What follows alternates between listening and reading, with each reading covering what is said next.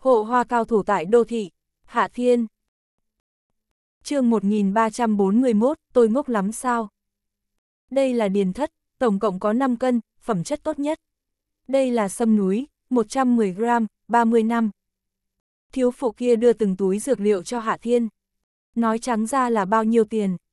Hạ Thiên tất nhiên không cần giới thiệu, hắn căn bản không cần nhìn, chỉ cần dùng mũi để ngửi cũng biết phẩm chất và chủng loại của những dược liệu này. Để tôi tính. Bà chủ tiệm thuốc cầm lấy máy tính, sau một lúc bận rộn thì đưa ra kết quả với Hạ Thiên. Tổng cộng là 88 ngàn. Hạ Thiên cũng không muốn tính toán, hắn cũng không quan tâm chút tiền như vậy, bây giờ hắn có rất nhiều tiền, căn bản còn không biết nên xài thế nào cho hết. Tiệm thuốc này không lớn nhưng bây giờ đông y rất đắt đỏ, vì vậy có nhiều tiệm thuốc cũng lắp đặt máy quét thẻ, Hạ Thiên quét thẻ, sau đó bỏ dược liệu vào trong một túi rồi xách đi. Lúc ra khỏi cửa thì Hạ Thiên buồn bực nói một câu. Nơi đây không có tiệm thuốc nào lớn sao, mua thuốc cũng không được đồng đều, còn phải tìm mua nhiều thứ khác nữa. Tôi biết một tiệm thuốc, nơi đó có bán đầy đủ mọi thứ. Bà chủ tiệm thuốc không nhịn được phải nói, có lẽ vì Hạ Thiên mua khá nhiều dược liệu, vì vậy mới muốn giúp đỡ một chút. Chỗ nào? Lần trước Hạ Thiên vì tìm mua dược liệu mà đã chạy đi khá nhiều tiệm thuốc, rất phiền phức và mất thời gian, hắn cũng không muốn như vậy. Ở quận Nam có một tiệm thuốc tên là Nhân Tể Đường, là tiệm thuốc đông y lớn nhất nơi đây, trên cơ bản thì dược liệu nào cũng có, hàng tồn rất đầy đủ, các người chỉ cần gọi xe, tài xế taxi sẽ biết đó là chỗ nào. Bà chủ kia tiếp tục nói. Audio điện tử võ tấn bền. Chỗ đó thật sự là thứ gì cũng có sao? Hạ Thiên dùng giọng lo lắng hỏi một câu. Chưa chắc là thứ gì cũng có, nhưng sẽ có những thứ mà cửa hàng khác không có. Bà chủ nói. À, vậy thì được, tôi đến đó mua dược liệu. Hạ Thiên xách túi dược liệu ra khỏi cửa hàng, sau đó nhanh chóng gọi một chiếc taxi. Khi thấy Hạ Thiên lên xe taxi, bà chủ kia vội vàng lấy điện thoại ra gọi đi. Anh, chút nữa sẽ có một tên thanh niên đến mua dược liệu, đây là một tên ngốc lắm tiền không biết quái quỷ gì cả, đừng quên làm thịt hắn nhé. Anh sao biết được là tên nào? Đầu dây bên kia vang lên một giọng đàn ông. Rất dễ nhận ra, hắn có một tờ giấy ghi rất nhiều dược liệu bên trên, em sẽ nói tên những dược liệu đó cho anh biết. Còn nữa, hắn đưa theo một cô gái, mặc quần áo màu đen, đặc biệt xinh đẹp, nếu anh thấy bọn họ thì nhất định sẽ nhận ra ngay. Bà chủ nói, sau đó bắt đầu đọc tên dược liệu. Bọn họ mua điền thất, sâm núi, long cốt. Trí nhớ của bà chủ là rất tốt, nhớ tất cả những dược liệu mà Hạ Thiên muốn mua. Sau khi báo tên thì nàng bổ sung thêm một câu. Anh, tên này thật sự lắm tiền, hắn đã mua ở chỗ em 8.800 tiền dược liệu, em đã bán sâm núi 10 năm với giá 30 năm cho hắn, mà hắn cũng không phát hiện ra, chắc chắn chẳng biết gì. Được rồi, anh sẽ lập tức chuẩn bị, khi bán xong anh sẽ cho em hai phần lợi nhuận. Tên đàn ông bên kia nói, sau đó cúp điện thoại, rõ ràng chuẩn bị làm thịt khách hàng. Nhân tể đường thật sự rất có danh tiếng ở thành phố Nhạc Nam, Hạ Thiên cũng nhanh chóng đến nhà thuốc này, diện tích của nó gấp đôi diện tích của nhà thuốc vừa rồi, nhân viên của tiệm thuốc cũng đều là những cô gái 20 tuổi, bộ dạng không tệ. Hơn nữa bên trong còn có trung y xem bệnh bốc thuốc, có lẽ vì nguyên nhân này mà tiệm thuốc kinh doanh rất tốt. Kiểm tra theo danh sách này, bán tất cả dược liệu các người có cho tôi. Hạ Thiên đi vào, trực tiếp tìm một nhân viên thuận mắt rồi đưa tờ danh sách dược liệu cho nàng. À, anh chờ chút, tôi đi gọi ông chủ. Nhân viên vội vàng cầm danh sách dược liệu đi vào, sau đó đã đưa một người đàn ông trung niên đi ra, rõ ràng người này chính là ông chủ tiệm thuốc. Ông chủ tiệm thuốc nhìn Hạ Thiên, trên mặt là nụ cười tươi giói. Tiên sinh, anh mua sắm nhiều dược liệu như vậy, chẳng biết dùng làm thuốc hay kinh doanh. Anh quan tâm làm gì? Hạ Thiên có chút mất vui. Tôi đang bận, đừng lãng phí thời gian, chuẩn bị dược liệu đi, nếu không tôi đi đây. Có, tất nhiên là có ngay, anh chờ chút. Ông chủ tiệm thuốc cũng không tức giận. Nhưng, tiên sinh, có một chuyện tôi cần hỏi, những dược liệu anh cần chúng tôi đều có, mà cũng có nhiều hàng tồn, nhưng dược phẩm của chúng tôi đều là loại tốt nhất, vì vậy giá cả hơi đắt một chút. Đưa dược liệu ra nhanh, đừng nói nhảm. Hạ Thiên rất mất kiên nhẫn. À, tôi sẽ đi lấy ra. Ông chủ tiệm thuốc có chút xấu hổ, cũng không nói gì nữa mà bắt đầu cầm danh sách đi lấy dược liệu. Lúc này Hạ Thiên không đợi lâu, chưa đến 10 phút thì trước mắt đã có một đống dược liệu như một ngọn núi nhỏ, cuối cùng ông chủ còn lấy ra một hộp khá dài. Tiên sinh, tôi có một cây sâm núi trăm năm cất giấu đã lâu, anh có cần không, giá cả có hơi đắt một chút. Lấy ra. Hạ Thiên vươn tay chộp lấy, hắn chuẩn bị luyện chế dược liệu, sâm núi là vị thuốc mấu chốt, tuy loại ít năm cũng có thể sử dụng nhưng trăm năm thì sẽ hay hơn. Tiên sinh, cây sâm này giá 500 ngàn, cộng thêm những thứ dược liệu khác, tổng cộng là 780 ngàn, anh xem, đây là đơn giá và số lượng. Ông chủ tiệm thuốc đưa hóa đơn cho Hạ Thiên, bên trên có số lượng đơn giá. Em chân dài, chị nói tôi có phải là tên ngốc không? Hạ Thiên đột nhiên nhìn dạ Ngọc Mị rồi hỏi. Cậu chính là tên ngốc. Dạ Ngọc Mị dùng giọng lạnh lùng nói. Hạ Thiên lập tức buồn bực, chẳng lẽ mình thật sự là tên ngốc? Nếu không thì hôm nay sao lại có nhiều người muốn gạt mình như vậy? Này, tôi cho ông một cơ hội, lấy cây sâm trăm năm thật ra, sau đó đổi những dược liệu giả thành thật, nếu không tôi đập nát tiệm thuốc này. Hạ Thiên chừng mắt nhìn ông chủ tiệm thuốc, bộ dạng muốn đánh người. Vẻ mặt ông chủ tiệm thuốc hơi biến đổi, sau đó tỏ ra ngạc nhiên. Tiên sinh, tôi không hiểu anh muốn nói gì. Ầm, um, Hạ Thiên vỗ tay xuống mặt quầy, lúc này quầy hàng thủy tinh chấn nát bấy, trong tiệm thuốc cũng vang lên những tiếng hô kinh hoàng, đám nhân viên và người đến mua thuốc đều sợ hãi. Anh muốn cướp sao? Vẻ mặt ông chủ tiệm thuốc chợt biến đổi, sau đó hắn phân phó một nhân viên ở bên cạnh. Báo cảnh sát. Hạ Thiên nhấc chân đạp ngã ông chủ tiệm thuốc xuống đất, sau đó mắng. Đám ngu ngốc này đúng là, tưởng anh cũng ngốc như chúng mày sao?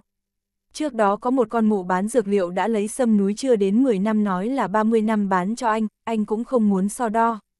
Nhưng chú em này thật sự quá phận, dám dùng sâm núi một năm để nói là sâm trăm năm định bán cho anh đây, nếu anh không đập nát tiệm thuốc này, các chú lại tưởng anh dễ ức hiếp.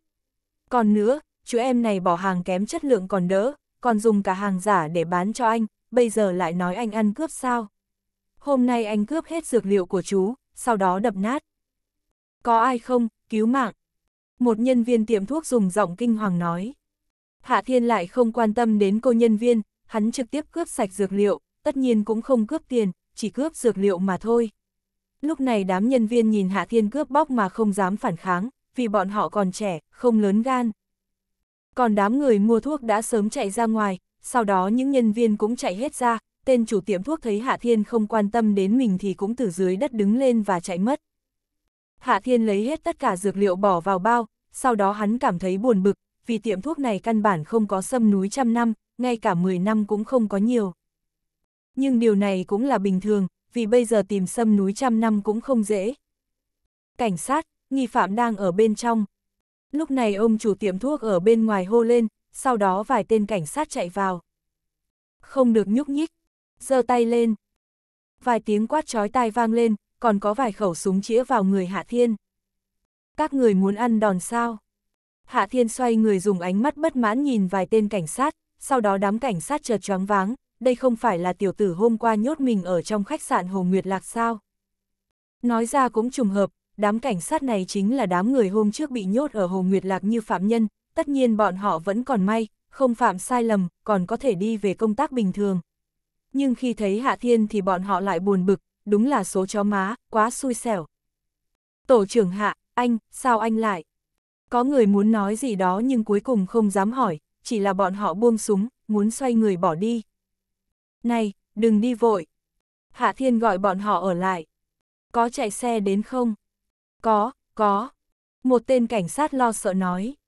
À, vậy thì tốt, các anh giúp tôi chất dược liệu lên xe, đưa đến chỗ tôi. Hạ Thiên cảm thấy nhiều dược liệu quá cũng không dễ đem theo. Vài tên cảnh sát đưa mắt nhìn nhau, sau đó giúp Hạ Thiên đưa dược liệu lên xe. Đám nhân viên và khách hàng cũng ngây người, quần chúng cũng choáng váng, ông thủ tiệm thuốc lại nói. Cảnh sát đi cướp. chương 1342, rõ ràng là muốn mở tiệm thuốc. Thằng ngu. Hạ Thiên đi ra khỏi tiệm thuốc và đẩy ngã ông chủ. Là anh cướp, chú thấy anh giống cảnh sát sao? Hạ Thiên nhìn đám cảnh sát đang khuân vác dược liệu, sau đó lại phân phó một câu. Này, các người cũng bắt tên này lại, hắn dám bán dược liệu giả cho tôi, còn lấy cây sâm núi một năm nói là trăm năm, tôi ghét nhất loại bán hàng giả và lừa đảo. Đám cảnh sát nghe nói như vậy thì không nhiều lời mà bắt ngay ông chủ tiệm thuốc, bọn họ chỉ mong sao cho sự việc qua nhanh, sau đó đứng cách xa Hạ Thiên ra một chút. Đúng là quá đáng, cảnh sát làm gì vậy? Đúng vậy, không bắt kẻ cướp mà còn bắt người bị hại. Đừng để cho cảnh sát làm bậy, ngăn bọn họ lại. Cảnh sát làm loạn, bắt người lung tung. Đám người vây quanh cảm thấy cực kỳ căm phẫn, một số người còn vây quanh xe cảnh sát, nhưng đúng lúc này những âm thanh cực lớn truyền vào trong tai.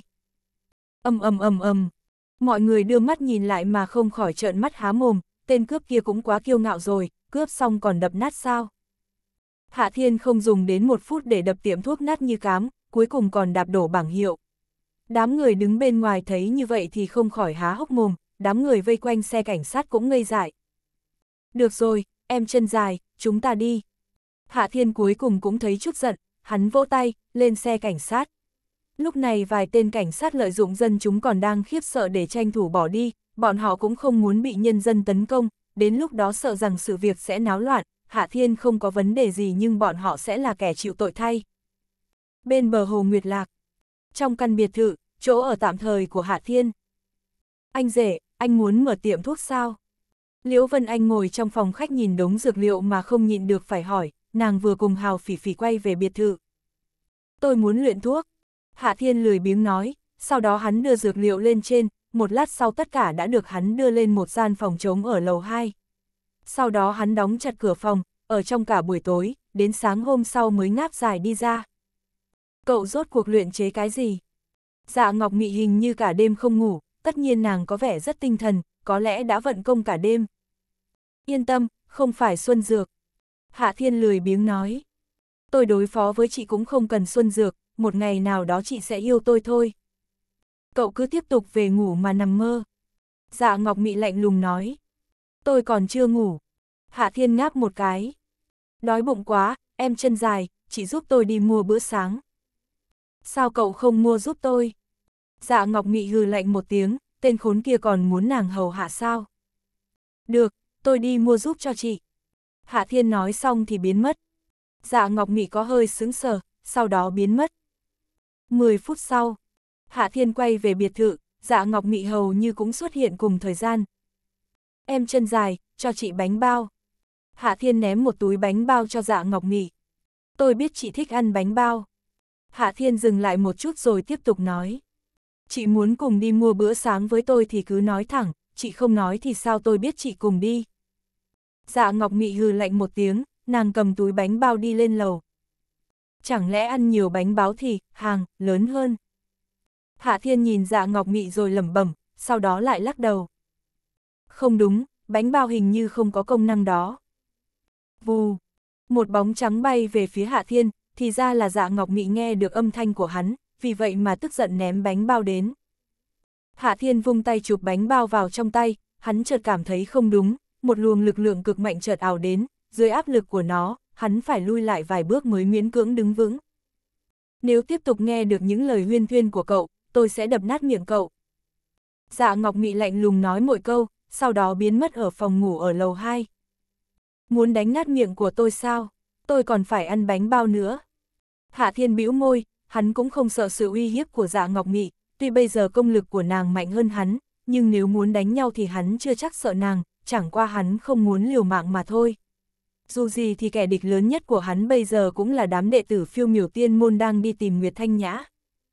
Hạ Thiên nghĩ đến bánh bao lớn của dạ ngọc mị mà lại phải gặm bánh bao nhỏ, hắn thầm cảm khái, đều là bánh bao nhưng sao có chênh lệch quá lớn như vậy. Hạ Thiên vừa cảm khái vừa nhai nuốt hơn nửa cái bánh bao. Anh rể, thức dậy sớm thế à? Giọng điệu của Liễu Vân Anh vang lên, nàng vừa xuống lầu vừa xoa mắt, rõ ràng vừa thức dậy. Mà Hào Phỉ Phỉ vừa từ nhà vệ sinh đi ra, xem ra nàng thức dậy khá sớm, khi Hạ Thiên đi mua bữa sáng thì nàng đã thức dậy rồi. Tôi còn chưa ngủ. Hạ Thiên thuận miệng nói một câu, sau đó bắt đầu tấn công bữa sáng của mình. Chưa đến một lúc sau Hạ Thiên đã tiêu diệt hơn 9 phần bữa sáng vừa mua về, cuối cùng hắn nói với Liễu Vân Anh. Đã để lại bữa sáng cho các người, tôi đi ngủ trước, không có gì thì đừng gọi. Hạ Thiên trực tiếp nhảy lên lầu 2, vào phòng ngủ, nằm xuống giường rồi ngáy o o. Cục Công an thành phố Nhạc Nam Bây giờ Cục Công an khá bận rộn, không chỉ là cảnh sát thành phố bận rộn, đám cảnh sát đến từ Cục Công an tỉnh do Hào Hồng Quang dẫn đội và những nhân viên Cục An ninh Quốc gia cũng đang bận rộn tối mặt. Hai vụ án lớn, một là bị nổ bom chết trong khách sạn Hồ Nguyệt Lạc, vụ còn lại là hơn 10 vụ hung án. Nhưng hai vụ án này thật ra cũng không phải do cảnh sát địa phương phụ trách, bây giờ cảnh sát địa phương chỉ có nhiệm vụ hỗ trợ phá án, những vụ hung sát kia thuộc về hạ thiên của thiên đạo tổ, còn vụ án mạng nổ bom là do Cục An ninh Quốc gia tiếp nhận, công bố vụ án thuộc vấn đề an toàn quốc gia. Tuy đám lãnh đạo Cục Công an thành phố đã không còn quyền tự chủ về hai vụ án trên, nhưng bọn họ vẫn rất bề bộn, mà bận rộn nhất chính là tổ trưởng tổ trọng án Điền Bác Phong, vì người trực tiếp hỗ trợ hai vụ án này chính là thành viên tổ trọng án của hắn. Nhưng bận rộn chỉ là trên danh nghĩa, bọn họ nhìn có vẻ bận rộn nhưng thực tế cũng không có chuyện chính sự, vì bây giờ cả Cục Công an đều ở vào trạng thái chây lười, vì bọn họ đều oán hận Hạ Thiên và người của Cục An ninh Quốc gia. Đám người tổ trọng án bị Cục An ninh Quốc gia chộp vào thẩm vấn, nguyên nhân là vì lệnh của Hạ Thiên, bây giờ bọn họ bị ép dưới bối cảnh hùng mạnh của Hạ Thiên, nhưng muốn bọn họ chăm chú phá án thì đừng hòng. Tất nhiên Điền Bác Phong là ngoại lệ, hắn luôn chăm chú điều tra Bách Hoa Lâu, vì sự mất tích của quân thiếu gia mà manh mối gián đoạn, giống như không thể tiếp tục điều tra. Tổ trưởng, anh để cho đám người Cục An ninh Quốc gia đi điều tra đi. Khi thấy Điền Bác Phong bận rộn thì Vương Hà không nhịn được phải nói. Cô nói gì vậy, đây là vụ án của chúng ta, để người khác đi điều tra, sau này cảnh sát thành phố Nhạc Nam chúng ta còn mặt mũi sao? Điền Bác Phong có chút tức giận. Chẳng lẽ các người hy vọng sau này đưa tin hai vụ án lớn ở Nhạc Nam cũng không phải do cảnh sát Nhạc Nam điều tra ra à? Đến lúc đó tất cả mọi người lại trách chúng ta vô năng. Vương Hà muốn nói lại thôi, nàng cảm thấy Điền Bác Phong nói rất đúng, nhưng nàng thật sự không muốn đi điều tra vụ này. Điền Bác Phong cũng không nói thêm điều gì, hắn ngồi đó suy tư, bước tiếp theo nên làm gì. Tút, tút, điện thoại vang lên. Điền Bác Phong lấy ra xem, là một tin nhắn từ số lạ, nhưng rõ ràng không phải là tin rác, là một tin nhắn báo động nặc danh. Tạ Hữu Tài đang ở thôn Lão Gia không phải là ông chủ chính thức của khách sạn Hồ Nguyệt Lạc. Điền Bác Phong thử gọi đến cho số điện thoại kia nhưng đối phương đã tắt máy, điều này làm cho hắn nghĩ mãi mà không rõ, rốt cuộc là ai cho mình manh mối. Mà manh mối này có đáng tin không? Chẳng lẽ là cô ấy? Trong đầu Điền Bác Phong chợt lóe lên một hình bóng quyến rũ. Hạ Thiên không ngủ được bao lâu vì nhận được điện thoại của Lữ Kính Tùng thuộc Long Tổ. Tuy bị Lữ Kính Tùng đánh thức nhưng hắn có chút hưng phấn, vì người của Cục An ninh Quốc gia đã phát hiện ra tung tích của Hoàng Tĩnh Di. Nhưng điều làm cho Hạ Thiên cảm thấy bất ngờ chính là Hoàng Tĩnh Di cũng ở bên cạnh Hồ Nguyệt Lạc, thực tế Hoàng Tĩnh Di cũng ở trong một căn biệt thự gần bờ hồ, tất nhiên diện tích của Hồ Nguyệt Lạc rất lớn nên dù hai biệt thự ở gần bờ hồ nhưng lại cách xa nhau. Nhưng chút khoảng cách như vậy căn bản không là vấn đề với Hạ Thiên, vấn đề là khi hắn định đi sang thì nghe được giọng điệu mê người của Mộc Hàm.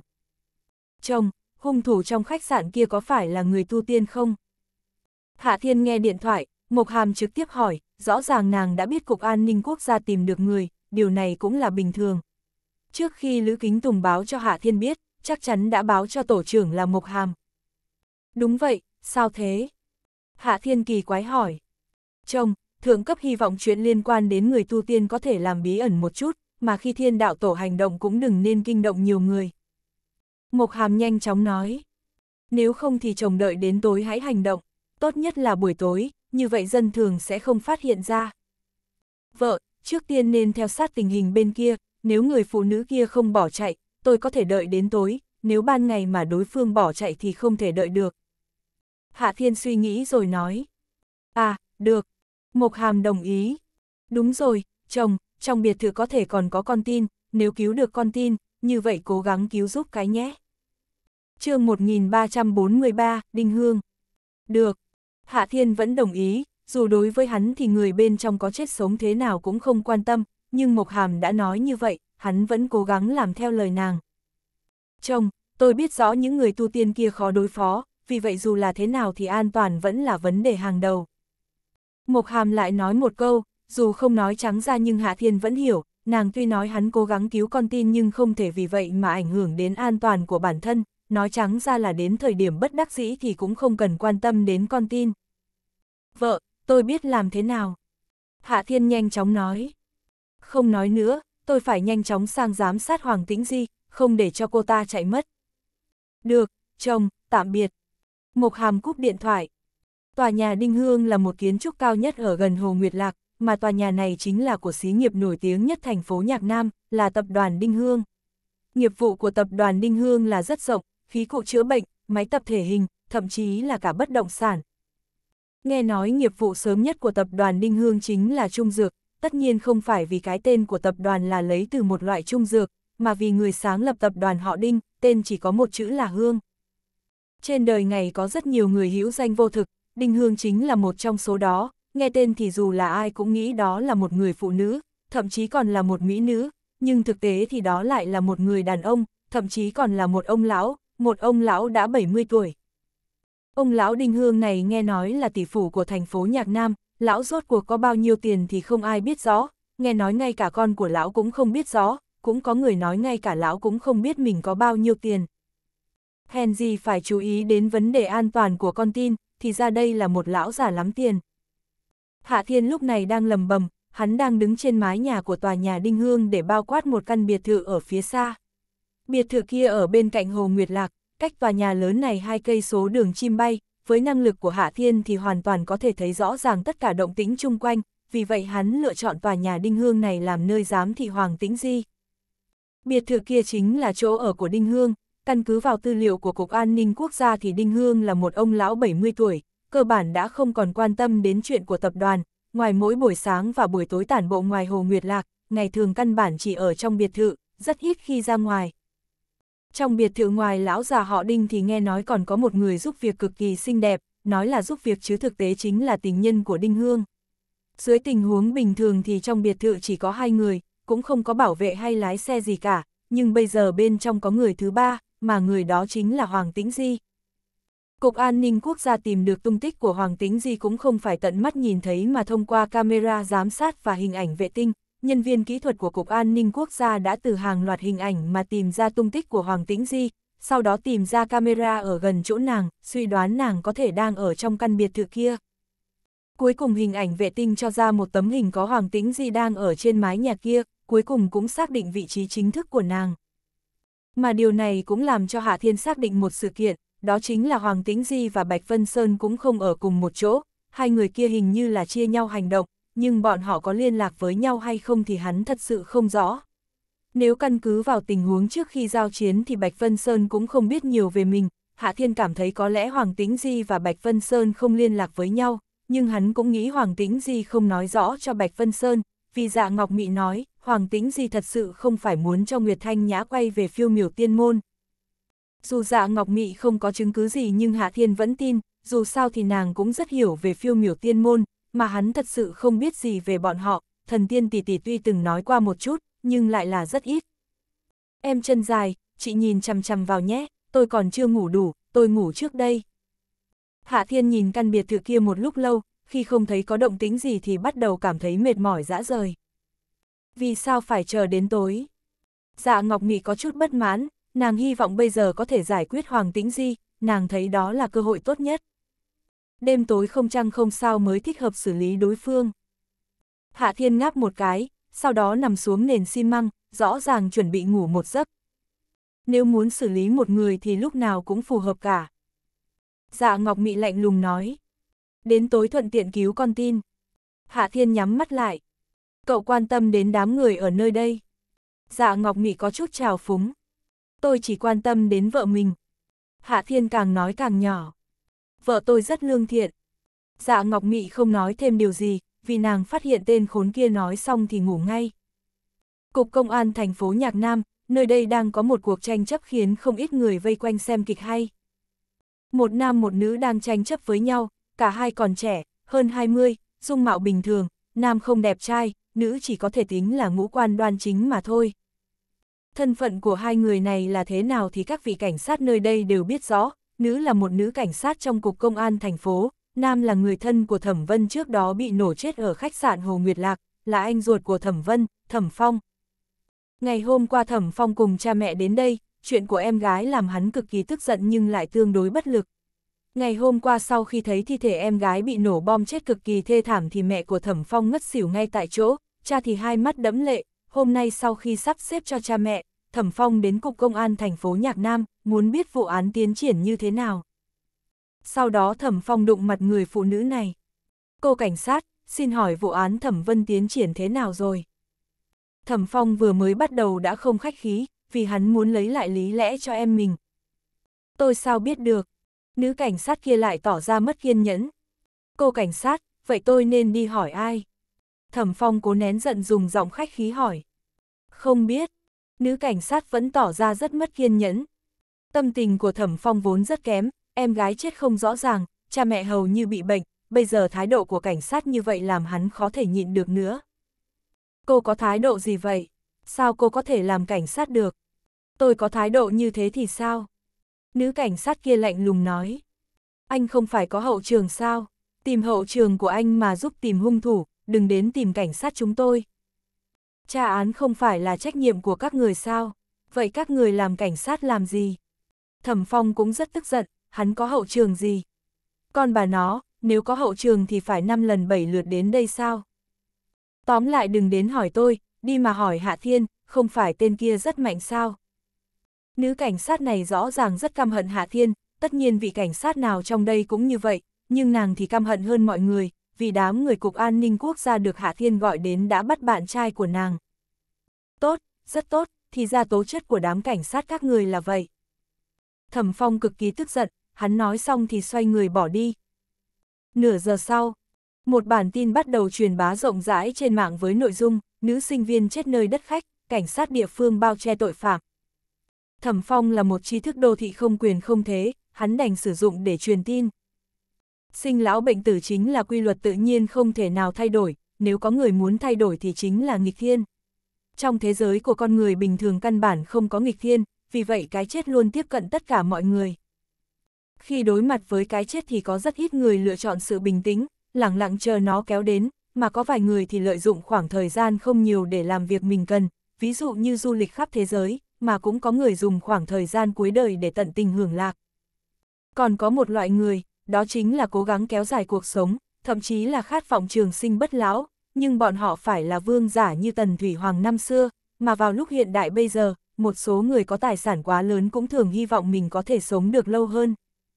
Ông lão Đinh Hương đã sắp vượt qua tuổi 70, lão chính là loại người như vậy, lão luôn muốn được sống lâu hơn, cố gắng vận động, ăn những thực phẩm bảo vệ sức khỏe, những dược vật kéo dài tuổi thọ. Nếu so sánh với những ông lão khác thì Đinh Hương thật sự có sức khỏe rất tốt nhưng vẫn già đi, lão vẫn không tìm được một biện pháp để mình trường sinh bất lão, mãi đến tận lúc này, sau khi gặp được một tiên nữ, lão mới thấy mình tìm được ánh dạng đông. Trên đời này không ngờ có thần tiên, điều này làm cho Đinh Hương cực kỳ hưng phấn, khi tận mắt thấy tiên nữ phi hành trên không, thấy tiên nữ làm ra những chuyện mà chỉ thần tiên mới có thể làm được, lão nhanh chóng quỷ bái tiên nữ, cầu xin tiên nữ cho mình chút tiên duyên, được hưởng thuật trường sinh bất lão.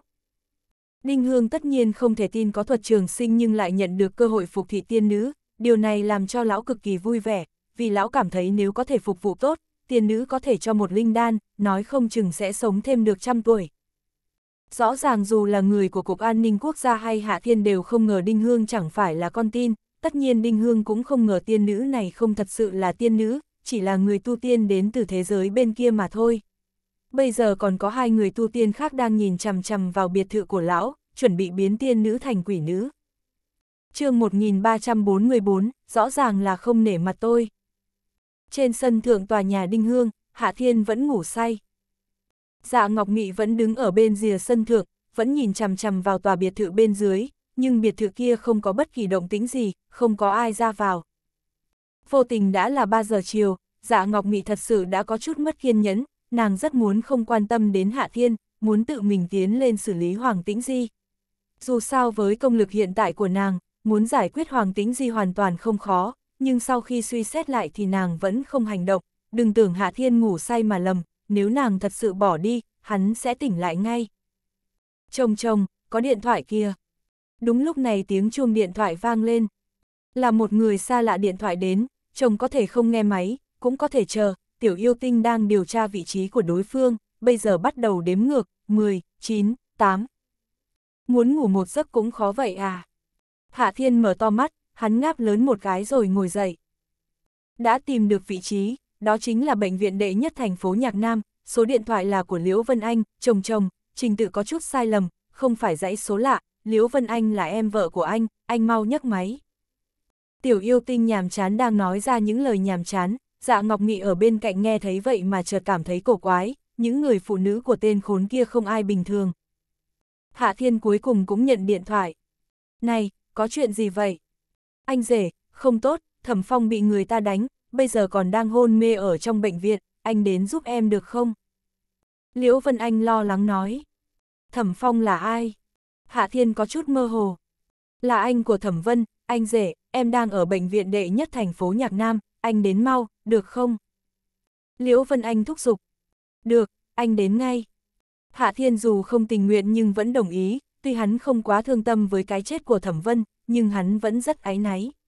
Bây giờ anh của Thẩm Vân bị người ta đánh cho hôn mê, hắn thấy mình cần đi giúp, vì Liễu Vân Anh nhờ hắn vài lần mà không lần nào thành công, sợ rằng hắn làm anh rể cũng không xứng.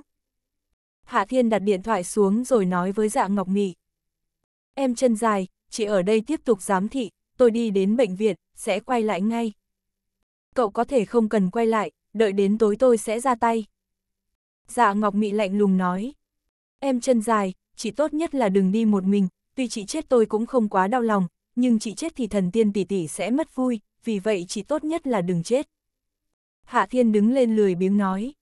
Đừng nói là Hoàng Tĩnh Di, dù liên thủ với Bạch Vân Sơn thì tôi cũng không sợ bọn họ. Dạ Ngọc Mị lạnh lùng nói, trong lời nói có chút kiêu ngạo. Em chân dài, chị không biết bọn họ còn có người thứ ba. Hạ Thiên lại hỏi một câu. Người thứ ba. Giọng điệu của dạ Ngọc Mị chợt biến đổi. Cậu có chứng cứ gì? Không có chứng cứ, tôi chỉ nghi ngờ mà thôi. Hạ Thiên nhanh chóng nói. Trong 10 vụ án mạng trước đó, có người thấy một người đàn ông mặc áo xanh, nhưng Bạch Vân Sơn mặc áo trắng, Hoàng Tĩnh Di mặc áo trắng, tuy bọn họ có thể đổi áo, nhưng nếu không đổi áo thì sẽ có một người đàn ông mặc áo xanh. Hạ Thiên dừng lại một chút rồi nói thêm. Tóm lại chị nên chờ tôi quay lại, hai chúng ta ở cùng nhau sẽ an toàn hơn, nếu không, nếu chị chết thật, tôi cũng không thể đối phó với bọn họ. Dạ Ngọc Mị không nói gì, chẳng biết nàng đang suy nghĩ điều gì. Hạ Thiên cũng không quan tâm, hắn lé người lên, biến mất trên mái nhà tòa nhà Đinh Hương. Thật ra chuyện Thẩm Phong bị đánh đã xảy ra 2 giờ trước, khi Hạ Thiên đến bệnh viện thì Thẩm Phong đã tỉnh lại nhưng có chút choáng váng, hình như còn có vẻ mất trí, nghe nói não bị chấn động, không biết ai đánh mình. Hạ Thiên đâm cho Thẩm Phong vài châm, sau đó Thẩm Phong bắt đầu nhớ lại nhiều chuyện. Hạ thần y, cảm ơn cậu. Thẩm Phong nhìn Hạ Thiên, bây giờ hắn mới biết Hạ Thiên là ai, cũng biết đối phương đã giúp em mình vài lần.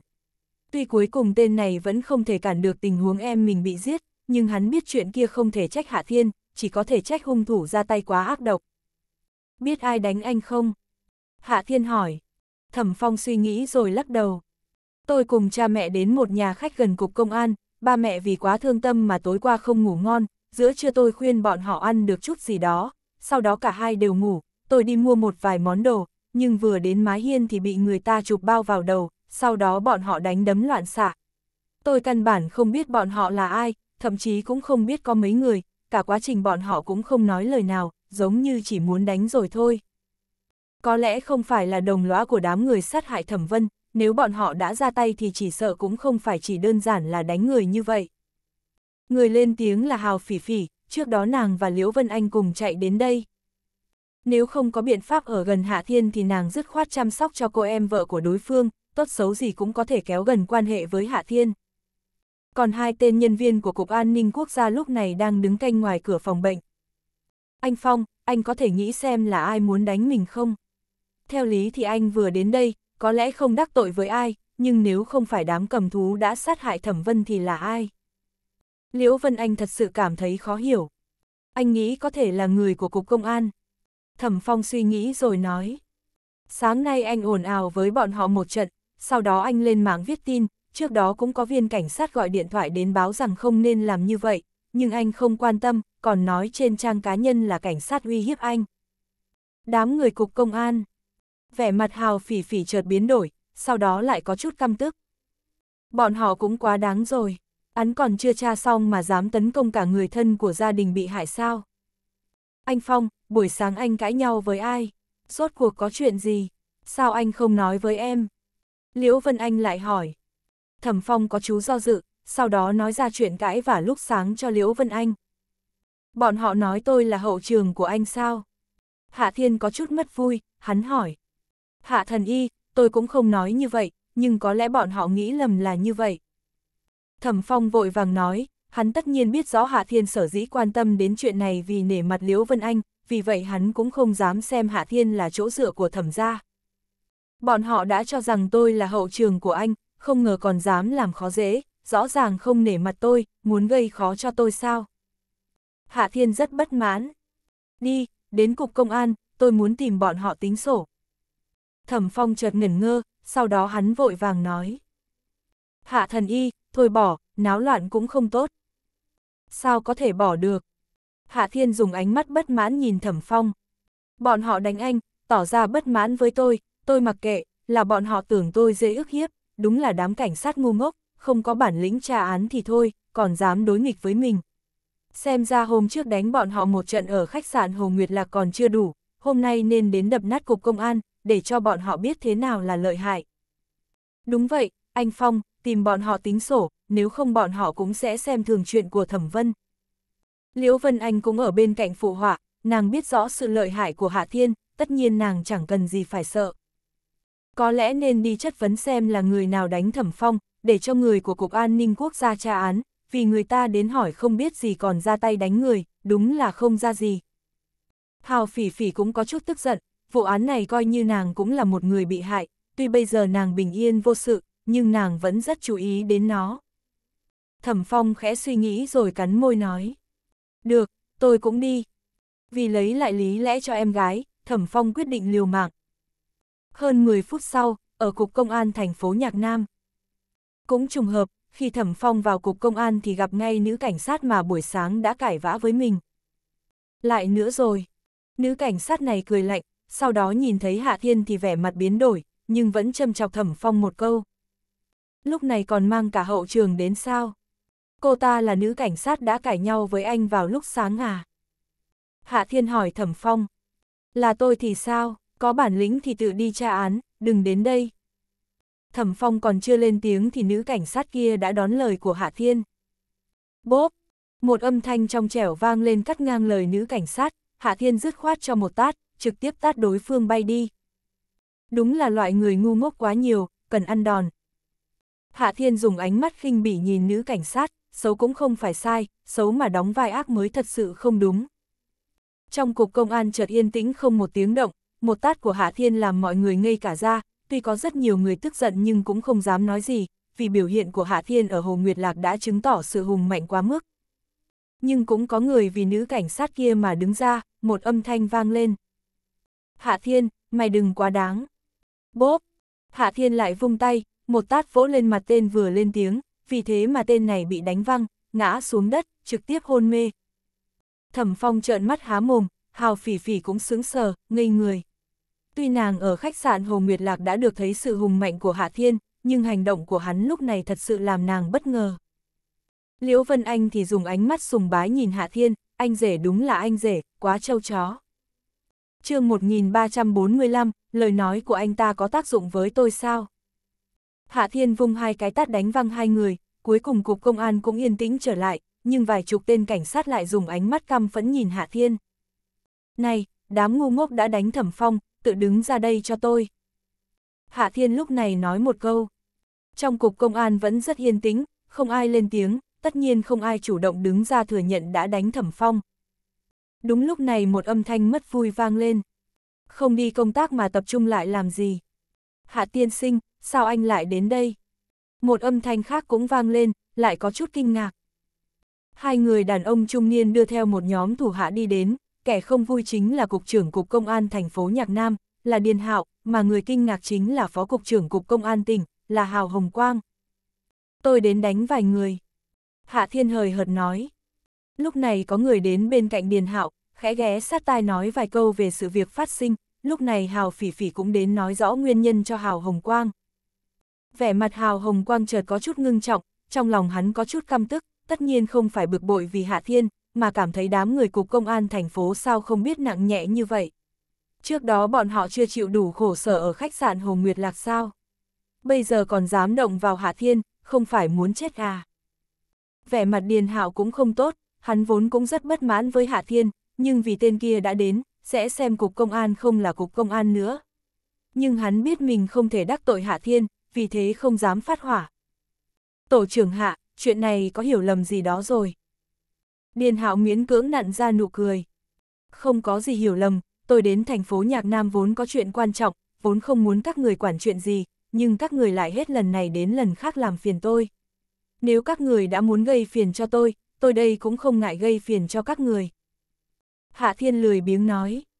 Tóm lại đám người đánh thẩm phong tự động lăn ra đây, nếu không đừng trách tôi không khách khí. Tổ trưởng Hạ, tôi vừa nghe trưởng khoa hào nói, thẩm phong cũng không xác định được ai là người ra tay, tôi tin cục công an cũng không làm ra những chuyện như vậy. Điền hạo tỏ ra bảo vệ cho đám thủ hạ. Ôi, xem ra không ai tình nguyện đứng ra, được, vậy tôi tiếp tục thẩm vấn các người ba ngày ba đêm. Hạ Thiên nói, sau đó quay đầu nhìn người của Cục An ninh Quốc gia ở sau lưng. Điện thoại cho Lữ Kính Tùng, để anh ta phái vài người đến Cục Công an thành phố bắt người, bắt tất cả già trẻ nam nữ lại. Cái gì? Hơi quá đáng. Còn nói đạo lý nữa không? Đám cảnh sát nghe được lời nói của Hạ Thiên mà nổi nóng, một đám cực kỳ tức giận, một số tên còn hoảng sợ, có lẽ sợ vì bị thẩm vấn. Tổ trưởng Hạ, không có bằng chứng mà để cho Cục An ninh Quốc gia đến bắt chúng tôi, như vậy cũng không được. Vẻ mặt Điền Hạo có chút khó coi. Hạ Thiên không quan tâm đến Điền Hạo, hắn thúc giục tên nhân viên của Cục An ninh Quốc gia. May điện thoại cho Lữ Kính Tùng sắp xếp nhân thủ, tôi rất bận, không muốn mất thời gian với đám người này. Vâng, tổ trưởng Hạ. Nhân viên Cục An ninh Quốc gia lấy điện thoại ra, bắt đầu bấm máy. Đừng, đừng điện thoại. Hào Hồng Quang vội vàng nói một câu, hắn đi lên hai bước nói. Hạ tiên sinh, anh cho tôi 3 phút, nếu sau 3 phút mà không ai thừa nhận thì hãy cho người của Cục An ninh Quốc gia tiếp nhận vụ này. Hạ Thiên suy nghĩ lại rồi khẽ gật đầu. Được, nể mặt hào đồ, tôi cho các anh 3 phút. Cảm ơn tổ trưởng Hạ. Hào Hồng Quang quét mắt nhìn đám cảnh sát, vẻ mặt chợt nghiêm túc. Tôi không nói nhiều, những người trả thù thẩm phong, nếu bây giờ không đứng ra, để Cục An ninh Quốc gia điều tra được, đến lúc đó sẽ là kẻ địch của toàn cục, hậu quả gì thì các anh biết rõ. Cục trưởng Hào nói đúng, nếu có người làm việc này, tôi hy vọng các người có thể thừa nhận, tôi sẽ không truy cứu. Điền Hạo ở bên cạnh cũng nói, Cục Công an tỉnh sẽ không truy cứu. Hào Hồng Quang bổ sung thêm một câu, là tôi làm, còn có tôi, tôi cũng tham gia. Ba tên cảnh sát trẻ tuổi đi ra, có thể thấy người còn trẻ dễ xúc động thế nào. Ba anh đến đây. Điền Hạo quát lên. Ba tên cảnh sát đi đến bên cạnh Điền Hạo mà không nói một lời. Xin lỗi tổ trưởng Hạ và Thẩm Phong ngay. Điền Hạo tiếp tục ra lệnh. Không cần xin lỗi, tôi biết rõ bọn họ cần ăn đòn, tôi đánh bọn họ là được. Hạ Thiên nói, sau đó tay phải nhanh chóng vung ra, ba tiếp bốp bốp bốp trong trẻo vang lên, trên mặt ba người đều có dấu bàn tay đỏ ửng. Bốn phía chợt yên ắng, vô số người thầm mắng, Hạ Thiên này quá ức hiếp người. Một tên cảnh sát vuốt gò má nóng bỏng rồi nhìn Hạ Thiên. Cục trưởng Điền đã nói sẽ không truy cứu. Lời nói của anh ta có tác dụng với tôi sao? Hạ Thiên nhấc chân đạp ngã tên cảnh sát vừa lên tiếng xuống đất. Tôi cảnh cáo các người lần cuối cùng, thành thật tìm ra hung thủ giết thẩm vân cho tôi, không cần gây phiền toái cho tôi, không nên ức hiếp người của tôi. Hôm nay tôi còn có việc, sẽ không có thời gian với các người, lần sau nếu tiếp tục gây phiền, tôi sẽ dỡ bỏ cục công an này, chôn sống tất cả. Hạ tiên sinh, anh đừng nóng, tôi sẽ chăm chú giáo dục lại bọn họ. Hào Hồng Quang ở bên cạnh nói lời hòa giải. Anh rể, thôi bỏ, dạy bảo bọn họ là được rồi. Liễu Vân Anh cũng hiểu không nên làm lớn chuyện, tất nhiên bây giờ đã lớn chuyện rồi. Này, Thẩm Phong, anh có muốn đánh bọn họ không? Yên tâm đi, có đánh bọn họ cũng không dám trả đòn. Hạ Thiên nhìn Thẩm Phong nói. Điều này, cảm ơn Hạ Thần Y, không cần đâu.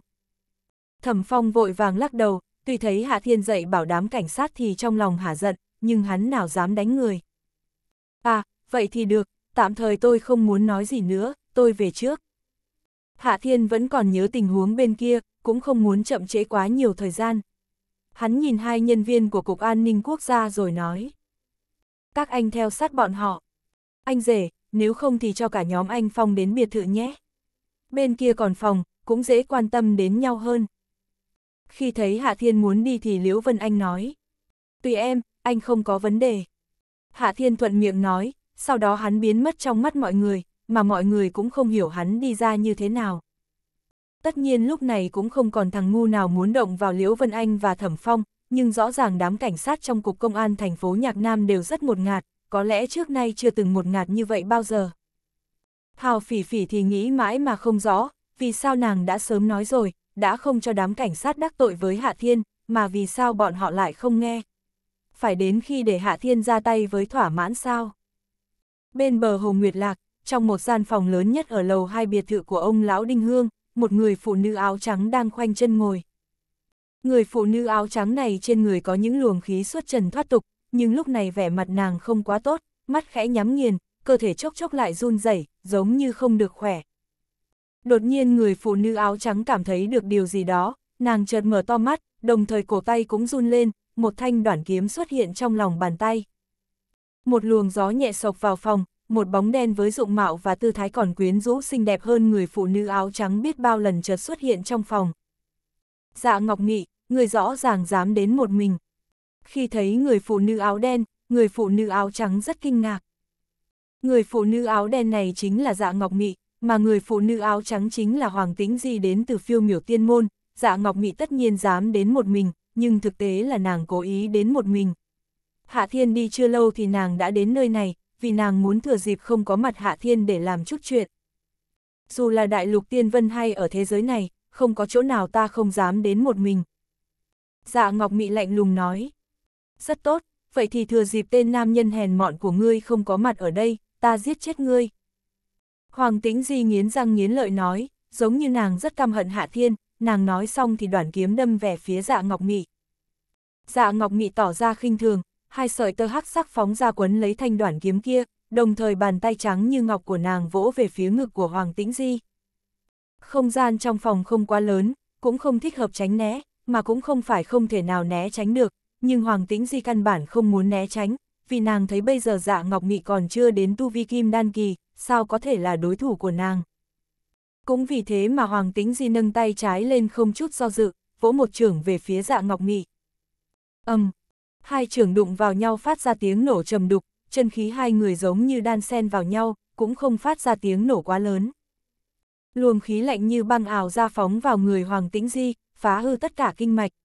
Hoàng Tĩnh Di rên thảm một tiếng, cơ thể văng ra phía sau, đâm mạnh vào bức tường phía sau, máu tươi từ trong miệng ộc ra, phi kiếm của nàng đã bị sợ tơ của dạ ngọc mị quấn lấy, đã trở thành chiến lợi phẩm của dạ ngọc mị. Chỉ một chiêu mà Hoàng Tĩnh Di đã thảm bại. Biết địch biết ta trăm trận trăm thắng, nhưng nếu đánh giá sai lầm về năng lực của đối thủ, bình thường sẽ thất bại. Lúc này Hoàng Tĩnh Di thật sự có thực lực cách biệt xa với dạ ngọc mị, vì vậy bại cũng là đương nhiên. Ngươi, ngươi, sao có thể? Hoàng Tĩnh Di dùng ánh mắt khó tin nhìn dạ ngọc mị, nàng không ngờ chỉ sau vài ngày mà thực lực của dạ ngọc mị lại tăng lên khó tin như vậy.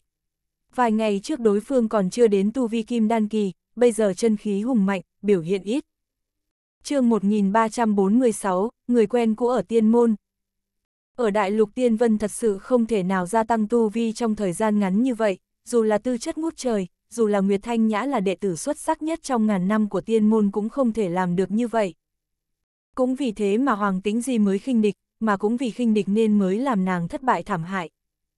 Dạ Ngọc Mị cũng rất biết cách lợi dụng sự khinh địch của Hoàng Tĩnh Di, vì vậy nên lúc xuất trưởng nàng cố gắng áp chế công lực, nhưng khoảnh khắc khi hai bên va chạm thì nàng mới bùng ra tất cả chân khí để đánh cho Hoàng Tĩnh Di trọng thương.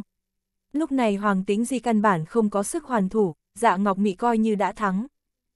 Tuy với thực lực hiện tại và cộng thêm sự quen thuộc với phiêu miểu tiên môn thì dạ Ngọc Mị hoàn toàn có thể thắng được Hoàng Tĩnh Di, nhưng dưới tình huống bình thường cũng không đơn giản có thể thắng được Hoàng Tĩnh Di. Dù sao thì thực lực giữa nàng và Hoàng Tĩnh Di vẫn không có sự khác biệt quá lớn, nhưng nàng cũng biết rõ đối phương sẽ nghĩ mình vẫn là tu vi chưa đến kim đan kỳ như trước, vì dù ai cũng không ngờ chỉ sau vài ngày thì thực lực của nàng có thể tăng vọt như vậy. Dạ Ngọc Mị nhìn Hoàng Tĩnh Di đang ngã trên mặt đất mà không khỏi nhớ đến Hạ Thiên, tuy nàng rất căm hận tên khốn kia, nhưng nàng khó thể không thừa nhận y thuật của tên kia thật sự quá cao siêu. Nếu không thì dù nàng có trở về đại lục tiên vân, dù có được người tu tiên công lực cao chữa thương, chưa nói có thể phục hồi lại được. Ta cũng không ngờ tình hình vết thương của ngươi vẫn chưa tốt lên được. Dạ Ngọc Mị dùng ánh mắt lạnh lùng nhìn Hoàng Tĩnh Di, đối phương thảm bại không phải chỉ vì đánh giá thấp thực lực của nàng, còn vì vài ngày trước đối phương đã bị thương, đến bây giờ còn chưa khỏi hẳn. Điều này làm cho nàng có chút bất ngờ, Hạ Thiên chỉ đâm Hoàng Tĩnh Di một châm mà thôi, đối phương có thể bị thương nặng. Như vậy sao? Ngươi và Hạ Thiên đều là kẻ hèn hạ. Hoàng Tĩnh Di dùng ánh mắt phẫn nộ nhìn dạ Ngọc Mị. Không hỗ danh là một đôi dâm phu gian phụ. Bốp! Dạ Ngọc Nghị cho Hoàng Tĩnh Di một tát, nàng dùng giọng lạnh như băng nói. Không nên kéo ta và hắn cùng một chỗ. Không đợi Hoàng Tĩnh Di lên tiếng, dạ Ngọc Mị lại vỗ một trưởng lên người đối phương, trực tiếp cho đối phương hôn mê.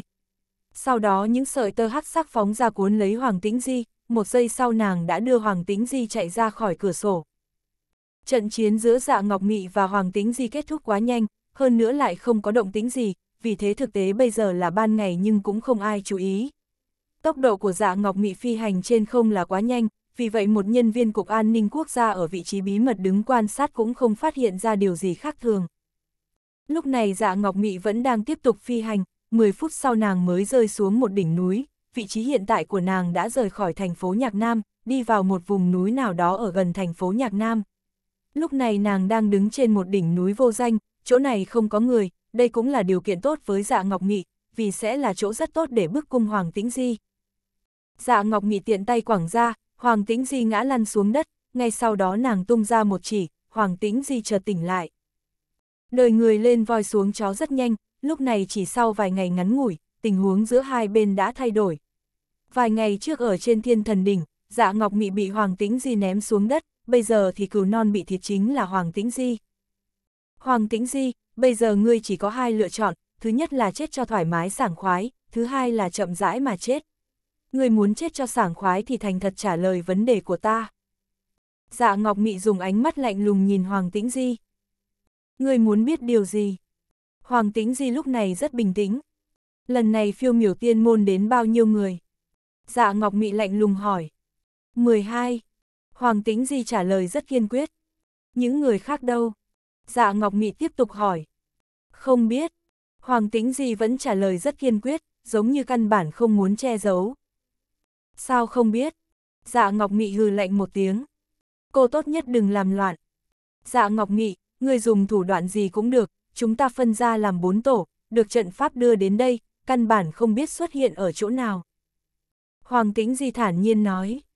Ta nếu biết bọn họ ở đâu, người làm gì còn có hội sống sót. Bốn tổ. Vẻ mặt dạ Ngọc Mị có hơi biến đổi. Vậy các ngươi ở thành phố Nhạc Nam có ba người. Ta chưa nói mỗi tổ đều có ba người. Hoàng Tĩnh Di thản nhiên nói. Nhưng ngươi nói không sai, thành phố Nhạc Nam thật sự có ba người, ta tin bọn họ sẽ nhanh chóng đến tìm ngươi. Ngoài Bạch Vân Sơn thì còn ai nữa? Dạ Ngọc Mị lạnh giọng hỏi. Hoàng Tĩnh Di không nói gì, vẻ mặt có chút cổ quái. Dạ Ngọc Mị chợt sinh ra cảm giác quái lạ, một sợi tơ hắc sắc nhanh chóng phóng đến và cuốn Hoàng Tĩnh Di lên, sau đó nàng xoay người nhìn về không trung cách đó không xa, có một bóng người đang bay đến. Chỉ sau chớp mắt thì người đàn ông áo bào xanh đã hiện trên đỉnh núi, đứng cách dạ ngọc mị 10 mét. Người đàn ông áo bào xanh có thân người thon gầy, nhìn có vẻ hơn 30, dung mạo bình thường, hoàn toàn không tính là đẹp, nhưng hắn đứng đó có một khí chất đặc biệt, một thứ gì đó làm người ta muốn quỷ bái. Thứ mà người ta dễ chú ý nhất chính là cặp mắt của hắn, cặp mắt đó rất sâu sắc, giống như có thể nhìn thấu tất cả thế gian. Nhưng bây giờ trong mắt người đàn ông áo bào xanh có chút hương vị kỳ lạ, hắn nhìn dạ ngọc nghị, có chút kinh ngạc, nhưng phần lớn là vui mừng, bên trong còn có chút hâm mộ. 20 năm không gặp, dạ tiên tử càng có phong thái hơn trước, đúng là đáng mừng. Người đàn ông áo bào xanh cuối cùng cũng mở miệng, trong giọng nói có chút mừng rỡ, còn có chút cảm khái. Hàn Minh Phi, thì ra là ngươi. Dạ Ngọc Nghị vẫn dùng giọng lạnh lùng nói, trong lời nói có chút kinh ngạc, rõ ràng nàng không ngờ ở chỗ này sẽ gặp được người quen cũ 20 năm trước. Dạ tiên tử, nhìn thấy cô còn sống, ta rất vui. Hàn Minh Phi mỉm cười, sau đó hắn thay đổi giọng điệu. Nếu dạ tiên tử còn sống, chắc chắn thanh nhã sư muội vẫn còn mạnh khỏe chứ. Cô ta có mạnh khỏe hay không, chẳng liên quan đến ta. Dạ Ngọc Nghị vẫn rất lạnh lùng, rõ ràng tuy gặp được người quen cũ nhưng nàng vẫn không vui. Thực tế nàng rất căm hận tên Hạ Thiên xui xẻo kia, không ngờ tên khốn kia lại đoán chúng, thật sự có một đệ tử của phiêu miểu tiên môn mặc áo bào xanh. Điều càng làm cho nàng lo lắng chính là 20 năm trước Hàn Minh Phi đã là cao thủ kim đan hậu kỳ, bây giờ nàng không thể nào xác định được tu vi của đối phương, nhưng nàng hoàn toàn có thể thấy, bây giờ Hàn Minh Phi mạnh hơn mình khá nhiều. Dạ tiên tử, chúng ta đã đến thế giới xa lạ này một khoảng thời gian, nhưng ta, Hoàng Sư muội và Bạch Sư Đệ luôn chia nhau ra làm việc, vì vậy ta không rõ giữa cô và Hoàng Sư muội có hiểu lầm gì. Ta cũng hy vọng cô hiểu, chúng ta đến đây chủ yếu là muốn tìm thanh nhã sư muội, còn những ân oán, chúng ta không truy cứu. Hàn Minh Phi nói rất thông thả, vẻ mặt chân thành. Lúc này tôi muốn khẩu cầu giả tiên tử nể chút tình mọn, thả hoàng sư muội ra, mặt khác nếu giả tiên tử biết thanh nhã sư muội ở đâu xin nói cho ta biết, 20 năm qua sư tôn rất tưởng nhớ thanh nhã sư muội. Hiểu lầm. Dạ Ngọc Mị cười lạnh một tiếng. Hàn Minh Phi, chẳng lẽ người muốn nói, phiêu miểu tiên môn chém chết vài ngàn đệ tử của phiêu miểu tiên môn là chuyện giả sao? Hàn Minh Phi khẽ thở dài. Dạ tiên tử, xem ra Hoàng Sư muội đã nói với cô điều này, nhưng dù sao đó cũng là ân oán sư môn, cô nên hiểu, thật ra cô coi như là một nửa đệ tử của phiêu miểu tiên môn. Tuy Nhật Nguyệt tiên môn không còn tồn tại, nhưng nếu cô và Thanh Nhã sư muội có thể quay về Đại lục Tiên Vân, tôi tin cô sẽ trở thành một thành viên của phiêu miểu tiên môn. Hàn Minh Phi, người vẫn cho rằng ta là cô bé khủ khờ 20 năm trước sao? Dạ Ngọc Mị lạnh lùng nói. Ta không muốn tiếp tục nói nhảm với ngươi, muốn ta thả hoàng tính gì thì rất đơn giản, nói cho ta biết pháp trận đi vào đại lục tiên vân nằm ở chỗ nào. Dạ tiên tử, trước khi chúng ta chưa tìm được thanh nhã tiên tử, ta không thể nói cho cô biết được. Hàn Minh Phi lắc đầu. Ta cũng không muốn lừa cô, thật ra dù cho cô biết, đối với cô cũng vô dụng, vì cũng không phải một người có thể khởi động trận pháp. Hàn Minh Phi dừng lại một chút rồi nói thêm. Dạ tiên tử, thật ra nếu cô muốn quay về thì rất đơn giản, chỉ cần giúp chúng tôi tìm được thanh nhã sư muội, chúng tôi sẽ cùng cô quay về đại lục tiên vân. Tôi sẽ không ký thác vận mệnh của mình cho kẻ khác. Dạ Ngọc Mị lạnh lùng nói. Chỉ cần ngươi nói cho ta biết pháp trận ở đâu là được, còn chuyện khởi động thế nào, ta không cần các ngươi quan tâm. Hàn Minh Phi lắc đầu, giọng điệu bình tĩnh mà kiên quyết. Dạ tiên tử, ta chưa nói cho cô biết, vì ta lo lắng cô sẽ không cẩn thận mà hủy diệt trận pháp. Nếu đã như vậy thì ta tiếp tục hỏi Hoàng Tĩnh Di. Dạ Ngọc Mị dùng giọng lạnh băng nói. Dạ tiên tử, Hoàng sư muội đã bị thương, ta hy vọng cô giao sư muội lại cho ta, thương thế của cô ấy rất nặng, cần phải chữa thương. Hàn Minh Phi chậm rãi nói. Nếu ta không giao thì sao? Dạ Ngọc Mị hứng hờ nói. Dạ tiên tử, ta cũng không muốn ra tay với cô. Hàn Minh Phi cười khổ nói. Ta cũng muốn xem sau 20 năm thì rốt cuộc ngươi tinh tiến thế nào. Dạ Ngọc Mị hừ lạnh một tiếng, một sợi tơ hắc sắc trên người nàng đã bắn ra phát động thế tấn công chương 1347, cao thủ quyết đấu. 20 năm trước dạ Ngọc Mị vì bị hao tổn kim đan mà luôn thi triển ra thực lực dưới kim đan kỳ, nhưng cũng giống như những gì nàng đã từng nói với Hạ Thiên, nếu một người luôn nhỏ yếu thì sẽ chẳng cảm giác được sự bi kịch trong cuộc sống của mình. Nhưng nếu một cường giả bị biến thành kẻ yếu dễ bị ức hiếp, đây là một cảm giác sống không bằng chết. Dù 20 năm qua cũng không có mấy ai ức hiếp được dạ ngọc mị, nàng vẫn rất hùng mạnh ở thế giới này nhưng thực lực luôn bị giảm xuống làm nàng cảm thấy bị dày vò. Mà lúc này cuối cùng nàng đã khôi phục lại thực lực năm xưa, thậm chí còn mạnh hơn nhiều so với quá khứ, vì thế mà trong lòng nàng có một khát vọng, đó chính là tìm được đối thủ có thực lực tương đương để khai chiến. Đáng tiếc là Hoàng Tính Di thật sự không chịu được một đòn của nàng, làm cho nàng không phát tiết được cảm giác muốn chiến đấu, nhưng bây giờ Hàn Minh Phi xuất hiện, người này 20 năm trước đã là cao thủ kim đan hậu kỳ, sẽ tuyệt đối có tư cách làm đối thủ của nàng. Không phải là thù hận nhưng bây giờ dạ ngọc mị lại thuần túy có một cảm giác muốn chiến đấu, là một cuộc chiến giữa các cao thủ. Trên mặt Hàn Minh Phi xuất hiện vài phần bất đắc dĩ, khi thấy hai sợi tơ đen đến trước mặt trong nháy mắt thì khẽ dịch sang một bên. Hắn nhìn thì có vẻ như tùy ý tránh được hai sợi tơ, nhưng hai sợi tơ vẫn tiếp tục phóng về phía hắn. Hàn Minh Phi khẽ dịch bước một lần nữa, hắn tiếp tục né tránh sự tấn công của các sợi tơ, đồng thời mở miệng nói. Dạ tiên tử, tuy ta vào thế giới này chưa lâu nhưng biết rõ nơi này linh khí mỏng manh không thích hợp tu luyện lâu dài, vì vậy mà 20 năm qua tu vi của dạ tiên tử không có cầu tiến. Tuy 20 năm trước ta không phải là đối thủ của cô, nhưng 20 năm sau, dạ tiên tử sợ rằng không thể nào đánh bại được ta. Dạ Ngọc Mị vẫn không lên tiếng, nhưng những sợi tơ vẫn phóng về phía Hàn Minh Phi, hơn 10 sợi tơ đột nhiên xuất hiện từ bốn phương tám hướng, sau đó cùng phát động thế công. Dạ tiên tử, không phải muốn như vậy đấy chứ. Hàn Minh Phi thở dài, hắn tùy ý vung tay chụp xuống, hơn 10 sợi tơ chợt bất động, rõ ràng bị Hàn Minh Phi chụp vào trong tay. Vẻ mặt dạ ngọc mị cuối cùng cũng biến đổi, thực lực của Hàn Minh Phi vào lúc này vượt qua dự đoán của nàng. Nhưng sự hời hợt của Hàn Minh Phi càng làm cho dạ Ngọc Mị sinh ra cảm giác phẫn nộ, dạ Ngọc Mị không cần người khác đồng tình và cố ý nhường nhịn. Sợi tơ cuối cùng cũng phóng ra như điện, nhưng gốc của sợi tơ còn có Hoàng Tĩnh Di, mà sợi tơ cột theo Hoàng Tĩnh Di cũng giống như trở thành vũ khí mạnh mẽ, dùng tốc độ cực nhanh phóng về phía Hàn Minh Phi.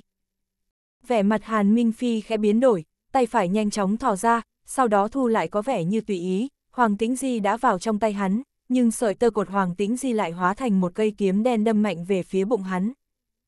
Hàn Minh Phi chợt nhíu mày, lại căn bản không trốn tránh, mà cây trường kiếm màu đen do sợi tơ hắc sắc tạo thành cũng đâm lên bụng của hắn, nhưng chỉ đâm vào mà thôi, quần áo không rách, cũng không thể tiến vào trong. Đúng lúc này một bàn tay trắng như ngọc chợt xuất hiện giữa không trung và vỗ về phía đầu của Hàn Minh Phi. Những đòn tấn công liên hoàn hầu như cùng phát sinh trong một khoảng thời gian nhưng Hàn Minh Phi căn bản không có có chút bối rối, hắn chỉ khẽ lắc đầu, tay phải vung ra tiếp nhận một trường của dạ ngọc nghị. Nhưng đúng lúc này một bàn tay trắng lại tiếp tục vỗ ra, đánh về phía vai phải của Hàn Minh Phi. Hàn Minh Phi cũng không trốn tránh, thực tế thì hắn giống như căn bản không thể nào đưa thêm một tay ra tiếp một trường kia, mà hắn cũng không có ý định như vậy. Lúc này bàn tay trái của hắn chợt ra tốc, khi bàn tay trái của dạ ngọc mị còn chưa đánh trúng vai phải của hắn, thì tay trái của hắn đã đánh vào bàn tay phải của dạ ngọc mị. Âm, um, một tiếng nổ lớn vang lên, chân khí tung tóe ra bốn phía.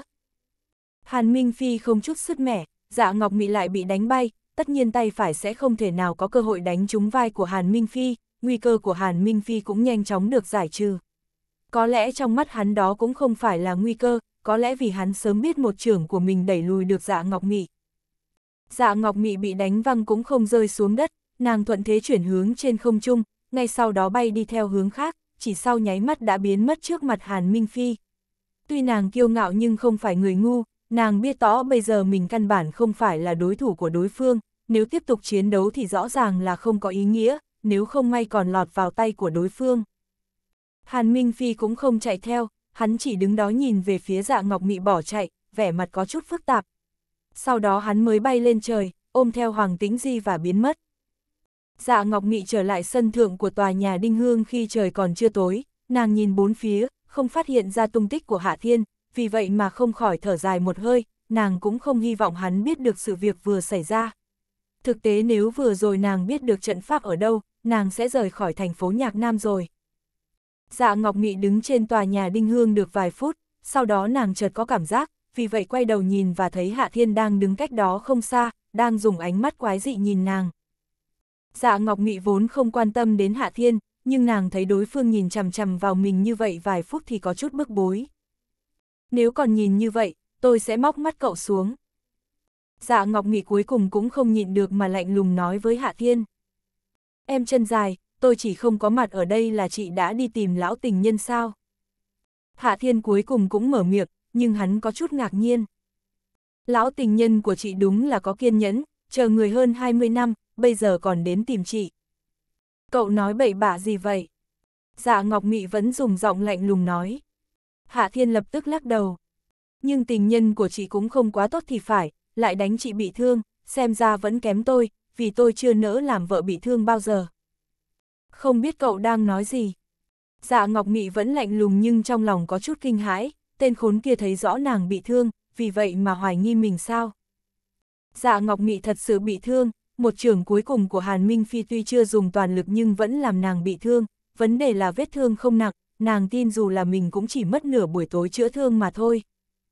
Này, em chân dài, chỉ có thể nói cho tôi biết vừa rồi chị đi làm gì được không? Hạ Thiên có chút bất mãn. Tôi thấy rõ ràng tên Hàn Minh Phi kia chắc chắn thích chị.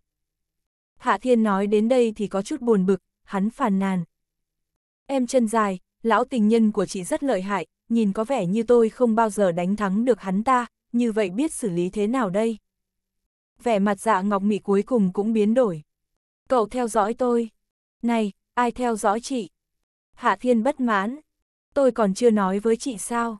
Tôi nói chị chờ tôi cùng ra tay, nhưng chị lại thừa dịp tôi đi để tìm Hoàng Tĩnh gì kia, làm hại tôi trở về tìm một lúc lâu, đến khi tôi vất vả tìm được chị, không ngờ thấy chị và lão tình nhân. Câm mồm, tôi và Hàn Minh Phi không có quan hệ gì. Dạ Ngọc Mị phẫn nộ quát. À, chị không cần giải thích, tôi cũng không ghen. Hạ Thiên Thuận miệng nói. Một sợi tơ màu đen phóng về phía Hạ Thiên, rõ ràng là dạ ngọc mị không nhịn được nữa, nàng bắt đầu ra tay với Hạ Thiên, lần này là ra tay thật sự. Cũng may Hạ Thiên đã sớm có chuẩn bị, hắn thấy sợi tơ bay đến thì dùng phiêu miểu bộ tránh sang một bên, đồng thời còn nói một câu. Em chân dài, trên người của chị có vết thương, không nên vận động quá mạnh. Dạ Ngọc Mị hừ lạnh một tiếng, sau đó nàng thu hồi sợi tơ, giọng điệu lạnh như băng. Tôi cảnh cáo cậu, sau này nói chuyện cẩn thận một chút, đừng tưởng rằng có động tay động chân trong cơ thể tôi thì hay lắm, tôi cũng không thèm quan tâm. Em chân dài, phụ nữ phải dịu dàng, nếu quá bạo lực cũng không tốt, như vậy sẽ không thể gả ra ngoài được. Hạ Thiên lắc đầu, rõ ràng hắn căn bản không có ý muốn cảnh cáo dạ Ngọc Nghị. Nhưng Hạ Thiên lại di chuyển chủ đề. Em chân dài, nếu chị cùng tôi ra tay, tôi đã sớm từ trong miệng Hoàng Tĩnh Di kia biết trận pháp ở nơi nào, vì thủ đoạn bức cung của tôi mạnh hơn chị. Nếu nói về vô sỉ thì ai vượt qua được cậu? Dạ Ngọc Mị lạnh lùng nói, nàng tin tưởng Hạ Thiên này sẽ dùng thủ đoạn hèn hạ để bức cung. Nếu nói về thông minh thì khó ai vượt qua tôi. Hạ Thiên uốn nắn một chút, sau đó hắn duỗi lưng nói. Thôi được, chúng ta không nói về điều này nữa, bây giờ phải xem làm sao có thể xử lý Hàn Minh Phi. Bây giờ Hoàng Tính Di và Bạch Vân Sơn đều trọng thương, bọn họ sẽ không tìm được thần y tốt như tôi, chính mình lại chữa thương rất khó, vì vậy trong khoảng thời gian này sẽ chẳng thể nào chữa tốt, chỉ cần xử lý Hàn Minh Phi, hai bên còn lại sẽ đơn giản. Muốn đánh bại Hàn Minh Phi chỉ có một biện pháp. Dạ Ngọc Mị lạnh lùng nói. Biện pháp gì?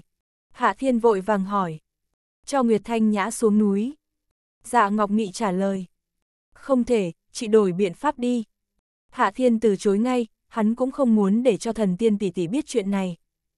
Tôi nói đó là biện pháp duy nhất, nếu không thì dù chúng ta có liên thủ cũng không phải là đối thủ của Hàn Minh Phi. Dạ Ngọc Mị lạnh lùng nói. Hàn Minh Phi thật sự lợi hại như vậy sao? Hạ Thiên có chú đau đầu. Em chân dài, tuy tôi cảm thấy hắn lợi hại hơn chị, nhưng hắn cũng không mạnh hơn chị quá nhiều. Hắn mạnh hơn rất nhiều. Dạ Ngọc Mị lạnh lùng nói, trong đó có chút không cam lòng. Hắn đã là cao thủ Nguyên Anh Kỳ, tuy chỉ là Nguyên Anh Sơ Kỳ nhưng dù là tôi và Nguyệt Thanh Nhã liên thủ cũng chưa chắc có thể đánh bại hắn. chương 1348, không thể lạc quan một chút sao? Không liên quan gì, chị và thần tiên tỷ tỷ không thể đánh bại, nhưng tôi có thể đánh bại hắn. Hạ Thiên lại rất tin tưởng. Không phải là cao thủ Nguyên Anh Kỳ sao? Cho tôi chút thời gian, tôi sẽ cho thấy ai lợi hại hơn. Cậu thì cứ đứng đó mà suy nghĩ thoải mái, ai cho cậu thời gian. Dạ Ngọc Mị nói đầy ý châm chọc. Chị lúc trước cũng không cho tôi thời gian sao. Hạ Thiên lại chẳng quan tâm. Chờ tôi tạo ra vài cao thủ Nguyên Anh Kỳ, tôi sẽ dễ dàng xử lý Hàn Minh Phi. Nói thì quá dễ. Dạ Ngọc Mị hừ lạnh một tiếng. Đáng lý ra thì rất dễ dàng, chỉ cần tôi học được đệ lục châm, sẽ tạo ra cao thủ không chỉ là tu vi Nguyên Anh Kỳ. Hạ Thiên dùng ánh mắt có chút bất mãn nhìn dạ Ngọc Mị. Em chân dài, chị không lạc quan chút sao? Đợi cậu học xong đệ lục châm rồi hãy nói. Dạ Ngọc Mị tức giận nói. Hạ Thiên chợt buồn bực, dạ Ngọc Mị này nói lời động vào tử huyệt của hắn, bây giờ công lực của hắn vẫn chưa đủ, chưa thể thi triển đệ lục châm, nhưng hắn biết mình chỉ còn cách một khoảng ngắn mà thôi. Dù bây giờ băng hỏa linh khí trong người hắn đều cơ bản tăng trưởng từng ngày nhưng tốc độ là rất chậm, cứ tăng trưởng với tốc độ như vậy thì ít nhất cũng là vài chục năm mới xong. Dù mỗi ngày hắn đều song tu với liễu mộng thì tốc độ chỉ tăng lên vài lần, chưa nói đến vài chục năm thì cũng là vài năm, nhưng nước xa không cứu được lửa gần, tốc độ đó còn lâu mới có thể giải quyết được những chuyện khẩn cấp.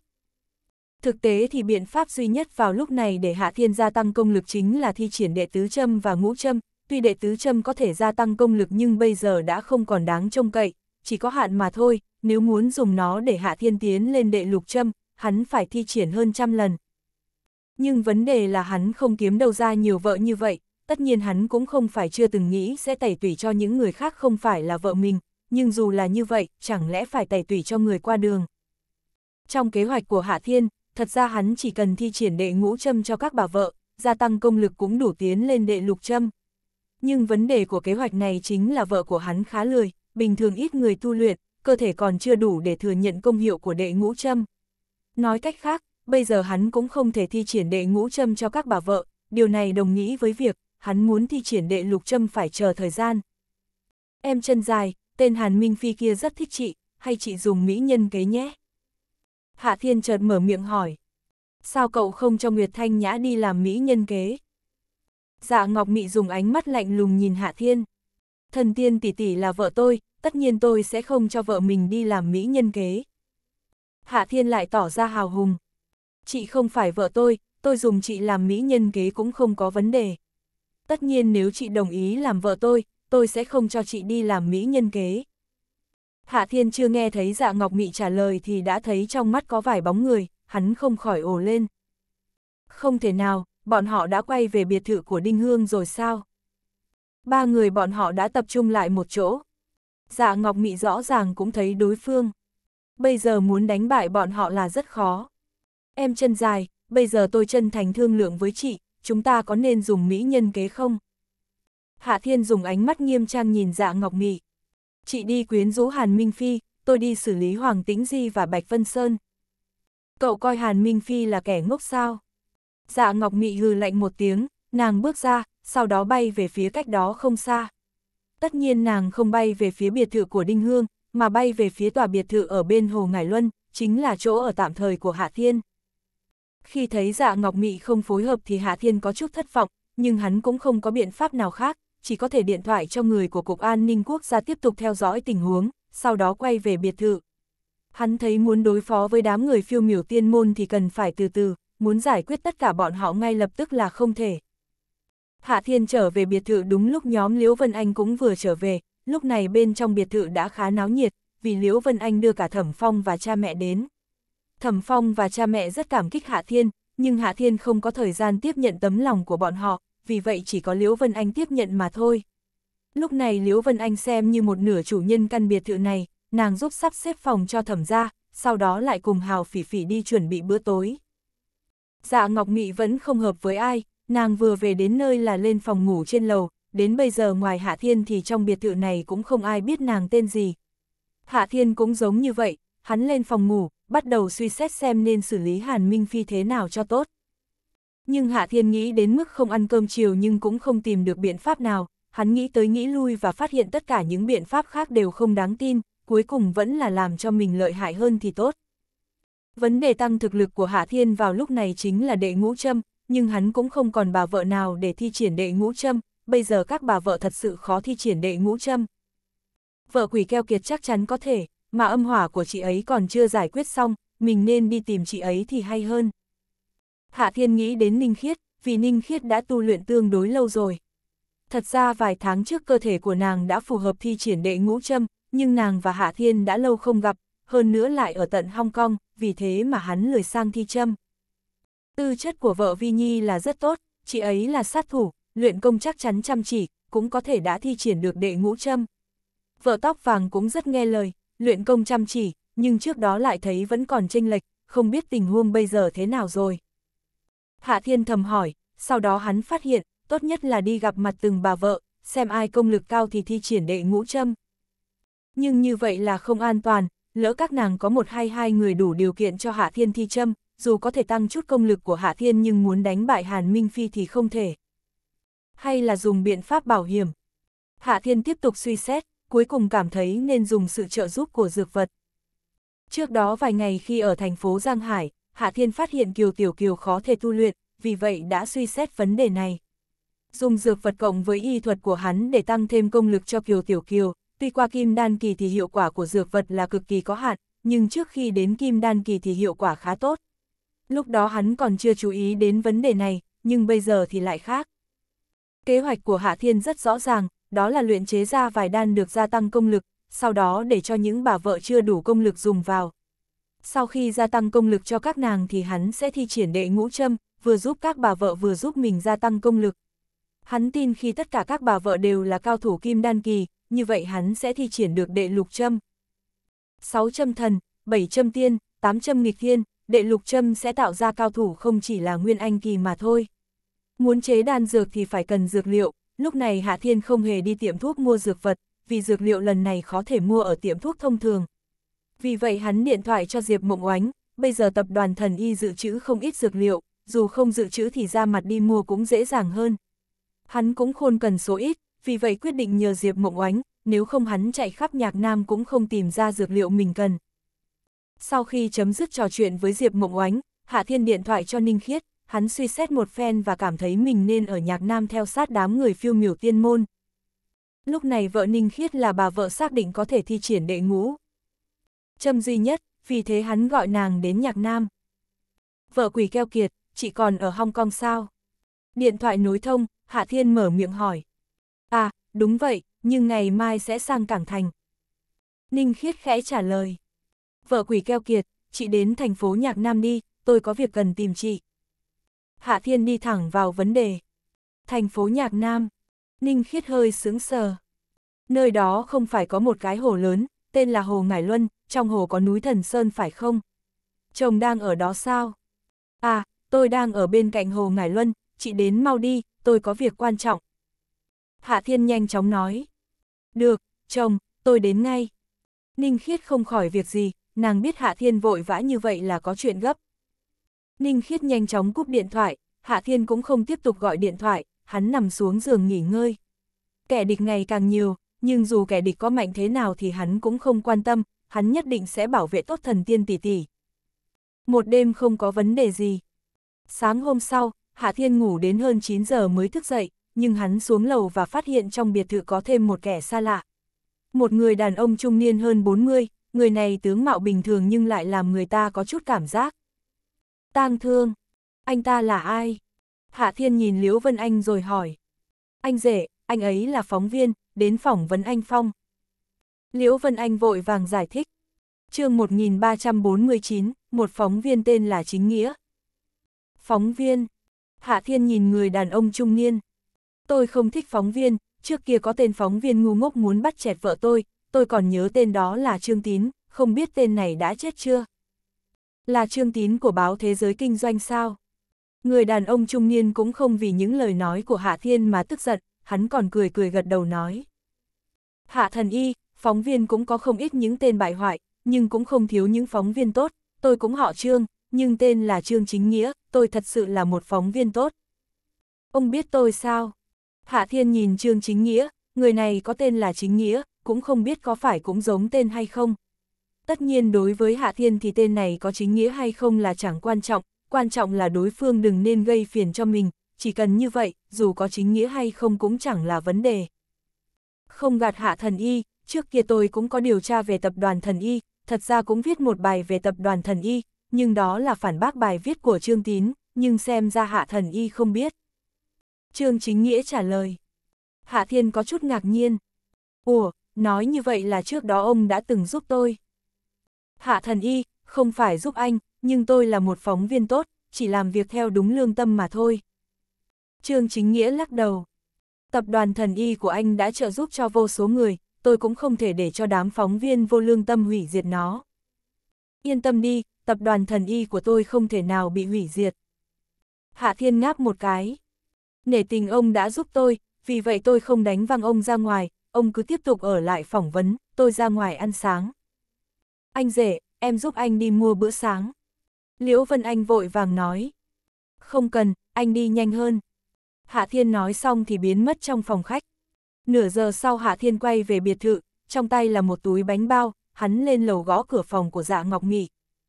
Làm gì vậy? Dạ Ngọc Mị mở cửa, giọng điệu lạnh băng. Mua bánh bao cho chị. Hạ Thiên đưa túi bánh bao cho dạ Ngọc Mị. Dạ Ngọc Nghị tiếp nhận, sau đó nàng dùng ánh mắt hung hăng nhìn hắn, cuối cùng thì đóng cửa lại. Dù không được dạ Ngọc Nghị cảm ơn nhưng Hạ Thiên thật sự không có vấn đề, hắn lại xuống lầu, ngồi trên ghế salon, nhìn giờ, thầm nghĩ, vợ quỷ keo kiệt nói hôm nay sẽ đến, nhưng mấy giờ mới đến. Liễu Vân Anh thì thầm nghĩ, thì ra anh rể còn có một người phụ nữ đẹp chưa thu phục được, hèn gì trước đó thấy hai người cứ là lạ thế nào. Trương Chính Nghĩa cũng chưa đi, hắn còn đang khẽ hỏi Thẩm Phong về vài vấn đề. Tuy hắn hỏi những thứ có liên quan đến Thẩm Vân nhưng Thẩm Phong hầu như không biết gì, vì Thẩm Phong thật sự là biết quá ít. Thẩm Phong, khi em gái của anh còn sống có nhắc qua một nơi gọi là Bách Hoa Lâu không? Trương Chính Nghĩa lúc này lại hỏi. Thẩm Phong tất nhiên sẽ lắc đầu, hắn cũng không biết gì, vì cảnh sát chưa từng nói gì. Ông biết Bách Hoa Lâu. Hạ Thiên dùng giọng ngạc nhiên hỏi, Trương Chính Nghĩa hình như biết được khá nhiều, không hỗ danh là phóng viên. Hạ thần y, anh đã từng nghe qua về bách hoa lâu sao?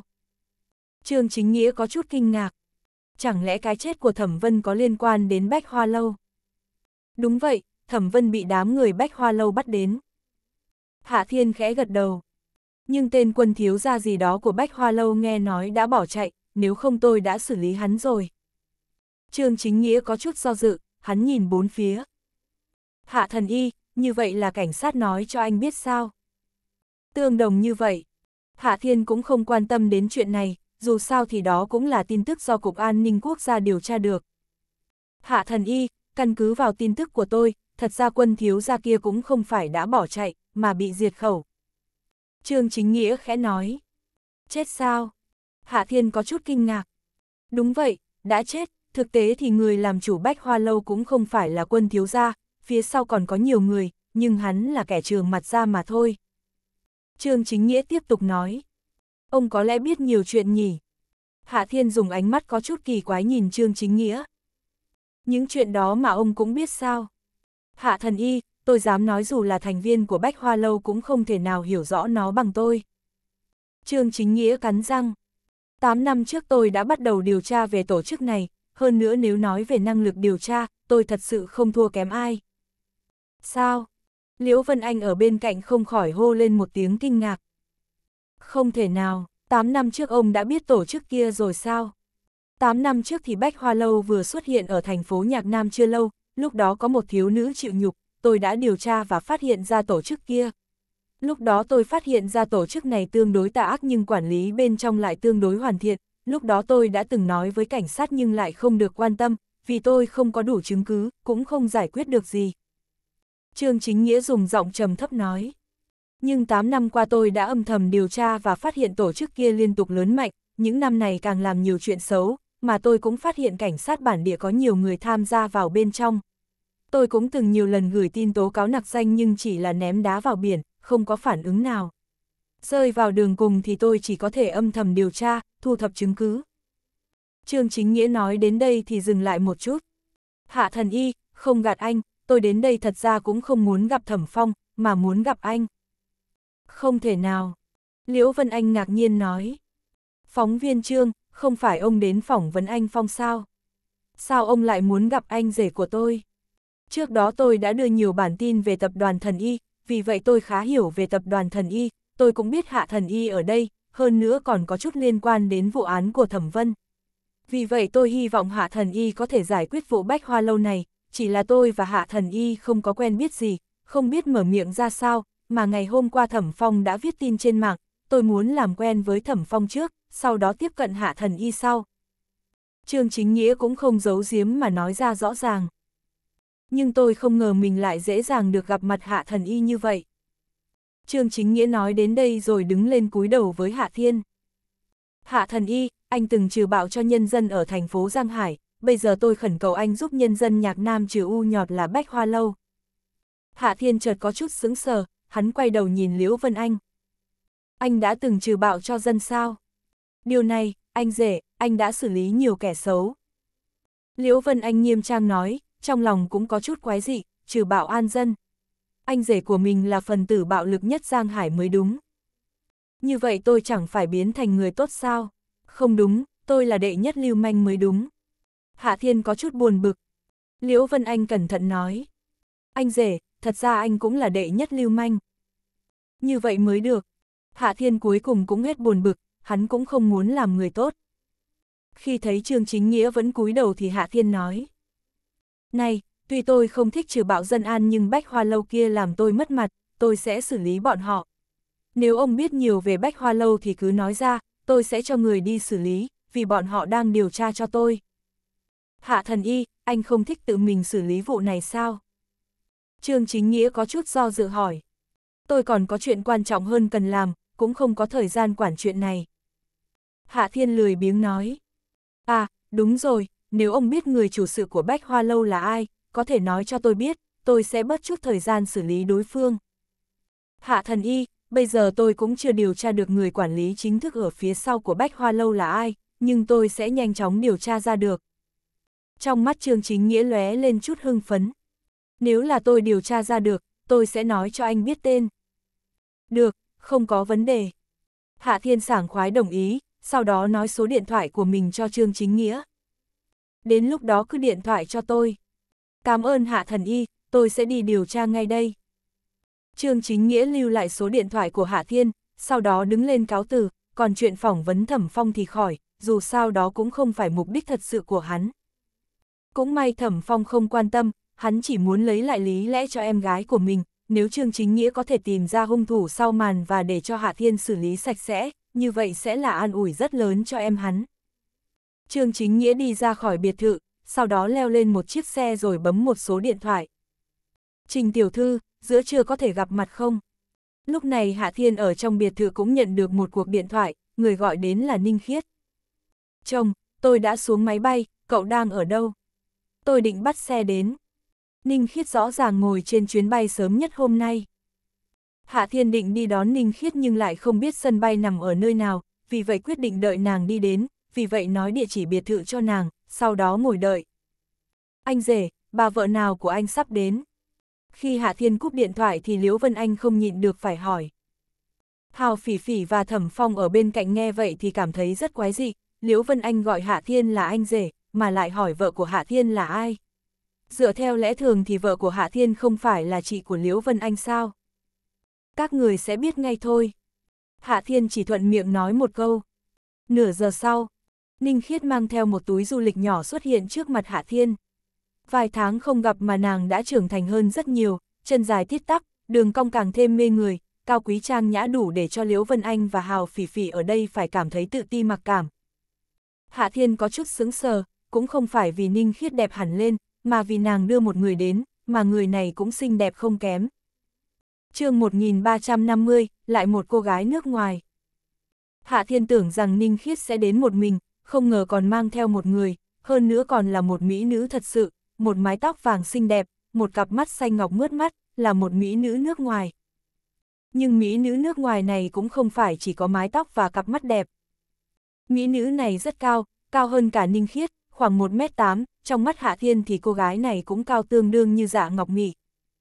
Tất nhiên mỹ nữ này cũng không quyến rũ và đầy đặn như dạ Ngọc Mị, thực tế thì dáng người rất tốt, eo mảnh như dạ Ngọc Mị nhưng ngực thì chỉ có thể nói là bánh bao nhỏ, đừng nói là so với dạ Ngọc Mị, so với Ninh Khiết cũng có không ít tranh lệch. Nhưng dù vậy thì cơ thể của nàng vẫn làm người ta cảm thấy cực kỳ xinh đẹp, tuyệt đối sẽ không làm người ta nghĩ rằng đó là một cây sậy.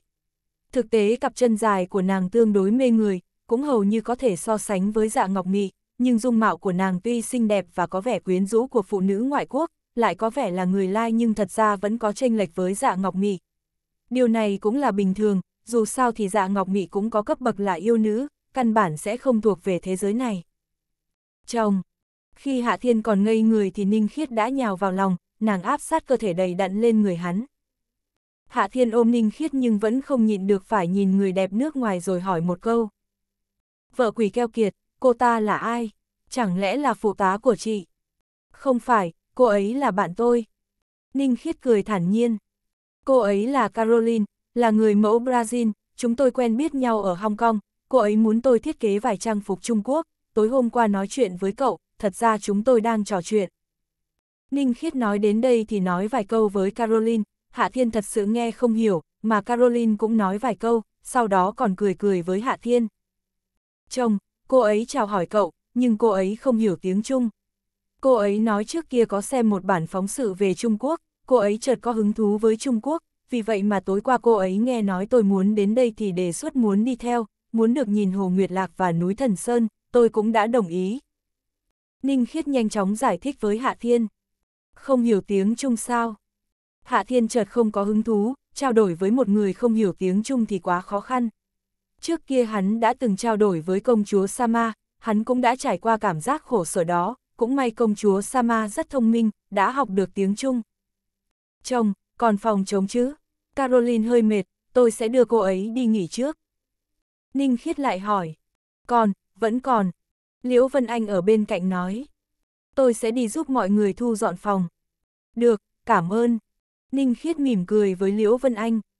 Vài người phụ nữ nhanh chóng lên lầu dọn phòng, Hạ Thiên thì ngồi ở phòng khách ngồi đợi hơn 10 phút, sau đó Ninh Khiết mới đi xuống.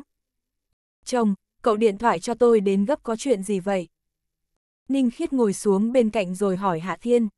Trong người chị đã có khá nhiều âm hỏa rồi phải không? Hạ Thiên hỏi ngược lại một câu. Khá tốt, có một chút nhưng không ảnh hưởng. Ninh Khiết trả lời. Tôi sẽ giúp chị giải quyết hoàn toàn vấn đề âm hỏa, mặt khác cũng sẽ thi triển đệ ngũ châm cho chị, cho chị đột phá kim đan kỳ, chính thức trở thành người tu tiên. Hạ Thiên nhanh chóng nói, hắn cũng không giấu Ninh Khiết. Tôi gặp một kẻ địch rất mạnh, tôi cần gia tăng công lực. Kẻ địch rất mạnh. Vẻ mặt Ninh Khiết chợt biến đổi. Chồng, bây giờ còn ai mạnh hơn cậu? Không có gì, chẳng qua là bọn họ tạm thời mạnh hơn tôi, sau này tôi sẽ mạnh hơn bọn họ ngay thôi. Hạ Thiên cũng không quan tâm. Tôi đưa chị đi gặp một người quen. Người quen, là ai? Ninh Khiết có chút kinh ngạc, chỗ này nàng còn người quen sao? Hạ Thiên không trả lời, hắn ôm Ninh Khiết lên lầu, sau đó gõ cửa phòng dạ Ngọc Mị. Cái gì nữa đây? Dạ Ngọc Mị mở cửa phòng, nàng thấy Ninh Khiết thì không kinh ngạc, rõ ràng nàng đã biết Ninh Khiết đến đây. Vẻ mặt Ninh Khiết chợt biến đổi lớn, nàng nhìn dạ Ngọc Mị giống như gặp quỷ. Người, sư, sư phụ. Không cần gọi tôi là sư phụ, tôi cũng không còn là sư phụ của cô. Dạ Ngọc Mị lạnh lùng nói một câu, sau đó đóng cửa phòng lại. Vẻ mặt Ninh Khiết có chút biến đổi, trong mắt còn có chút sợ hãi, dù Hạ Thiên đã từng nói với nàng, không cần phải sợ dạ Ngọc Mị, nhưng nỗi sợ hãi của nàng với dạ Ngọc Mị là xuất phát từ tận sâu trong đáy lòng. Hạ Thiên lại vươn tay vỗ lên cửa. Này, em chân dài, tôi có chuyện cần tìm chị. Có gì thì cứ nói, tôi nghe đây. Dạ Ngọc Mị không mở cửa nhưng âm thanh lạnh lùng vẫn xuyên ra ngoài. Em chân dài, tôi sẽ thi châm cho vợ quỷ keo kiệt, chị nhớ hộ pháp dùm tôi. Hạ Thiên lúc này cũng không có tâm tư đùa giỡn với dạ Ngọc Mị. Biết rồi. Âm thanh lạnh lùng của dạ Ngọc Mị chợt truyền ra. Sau khi nghe được đoạn đối thoại của Hạ Thiên và dạ Ngọc Mị thì Ninh khiết chợt ngây người, Hạ Thiên gọi dạ Ngọc Mị là em chân dài. Mà nàng còn thấy dạ Ngọc Mị không tức giận. Ninh khiết ngây ngốc, mãi đến khi Hạ Thiên kéo nàng vào phòng ngủ, nàng cũng còn chưa kịp phản ứng. Vợ quỷ keo kiệt, chị làm sao vậy? Hạ Thiên mở miệng hỏi một câu. Ninh khiết lúc nào mới xem như phục hồi tinh thần trở lại, sau đó nàng hỏi. Chồng, cậu, cậu và dạ Ngọc Mị bây giờ có quan hệ thế nào? Ninh khiết cảm thấy mối quan hệ giữa Hạ Thiên và dạ Ngọc Mị bây giờ rất kỳ quái, rõ ràng không phải là tình nhân, mà cũng không phải là kẻ thù, chẳng lẽ là bạn bè. Nhưng hình như cũng không giống, hơn nữa nàng cũng không thể nào hiểu được, Hạ Thiên và dạ Ngọc Mị khó có thể là bạn, vì nếu có gì xảy ra thì với sự háo sắc của Hạ Thiên, dạ Ngọc Mị lại xinh đẹp, phải thông đồng một chỗ mới đúng. Bây giờ, à, chúng tôi xem như có quan hệ hợp tác. Hạ Thiên chăm chú suy nghĩ, sau đó trả lời. Tôi bây giờ và cô ấy có cùng kẻ địch, vì vậy tạm thời hợp tác. Quan hệ hợp tác. Ninh Khiết khẽ thở ra một hơi, loại quan hệ này rất phù hợp với trạng thái hiện tại của bọn họ, coi như là kết quả bình thường. Vợ quỷ keo kiệt, chị trước tiên cứ mặc kệ chị ta, tôi thi châm cho chị cái đã. Hạ Thiên sợ đêm dài lắm mộng, dù sao thì uy hiếp của Hàn Minh Phi kia vẫn còn. À, được rồi. Ninh Khiết gật đầu, sau đó tự giác nằm trên giường. Vợ quỷ keo kiệt, chị nên ngồi, lát nữa còn phải vận công. Hạ Thiên suy nghĩ rồi nói. Ninh Khiết ngồi khoanh chân, Hạ Thiên bắt đầu nói vài câu, lấy ngân châm, bắt đầu thi triển đệ ngũ châm. Giữa trưa, ở một nhà hàng trong thành phố Nhạc Nam. Một nam một nữ ngồi đối diện nhau, một người đàn ông trung niên tang thương chính là kẻ đã tự xưng là Trương Chính Nghĩa, mà người phụ nữ lại quyến rũ xinh đẹp, là Trình Linh. Trình Tiểu Thư, tôi hy vọng cô có thể nói cho tôi biết người kia rốt cuộc là ai. Trương Chính Nghĩa nhìn Trình Linh, giọng điệu bức thiết. Phóng viên Trương, anh là người tốt, vì vậy tôi sẽ không nói cho anh biết. Trình Linh khẽ lắc đầu. Trình Tiểu Thư, tôi biết rõ cô cố kỵ điều gì, nhưng bây giờ không còn là 5 năm trước, cô cứ tin tôi, chỉ cần cô nói cho tôi biết người kia là ai, tôi nhất định sẽ cho đối phương bị trừng phạt. Trương Chính Nghĩa nói, giọng điệu có chút phẫn nộ. Đám cầm thú kia đã làm nhiều chuyện xấu, bây giờ đã đến lúc bọn họ gặp báo ứng. Phóng viên Trương, 5 năm trước thiếu chút nữa tôi đã hại anh, tôi không muốn dẫm lên vết xe đổ. Trình Linh lắc đầu. Anh nghe lời khuyên của tôi, đừng trông nom chuyện này nữa. Trình Tiểu Thư, tin tưởng tôi, sẽ không dẫm lên vết xe đổ, chỉ cần tôi biết được tên, tôi đã điều tra 8 năm, đã rất cần biết đối phương là ai. Trương Chính Nghĩa siết chặt nắm đấm. Tuy tôi có thể tự mình điều tra ra, nhưng tôi cũng không biết vị hạ thần y kia còn ở chỗ này bao lâu nữa, tôi phải điều tra được trước khi anh ta bỏ đi, nếu không sau này sẽ mất đi cơ hội tốt. Phóng viên Trương, anh biết vì sao tôi còn sống không? Trình Linh chợt hỏi ngược lại. Trình Tiểu Thư, chắc hẳn những năm qua cô đã chịu không ít khổ sở. Trương Chính Nghĩa trần trừ nói. Trình Linh lại lắc đầu. Phóng viên Trương, thật ra những năm qua tôi không chịu khổ, tôi có cuộc sống rất tốt nhưng phải làm ra những chuyện trái với lương tâm, anh hiểu ý tôi không? Trình Tiểu Thư, chỉ cần cô cho tôi một cái tên, cô sẽ không cần phải làm điều gì trái với lương tâm nữa. Trương Chính Nghĩa vẫn cố gắng thuyết phục Trình Linh. Phóng viên Trương, gần mực thì đen, anh hiểu chưa? Trình Linh khẽ lắc đầu, gương mặt xinh đẹp có chút khổ sở. Tôi nếu cho anh biết tên, anh cảm thấy có thể hoàn toàn khai phá được sao? Trình Tiểu Thư, tôi biết rõ cô lo lắng điều gì, nhưng tôi tin những năm qua cô đã làm những gì mình không muốn. Trương Chính Nghĩa trầm ngâm rồi nói. Anh tin nhưng cảnh sát có tin không? Trình Linh thở dài sâu kín. Dù bọn họ tin thì tôi cũng không thể hoàn toàn thoát khỏi liên quan. Trình Tiểu Thư, nếu cô thật sự lo lắng về vấn đề này thì càng phải nói cho tôi biết tên.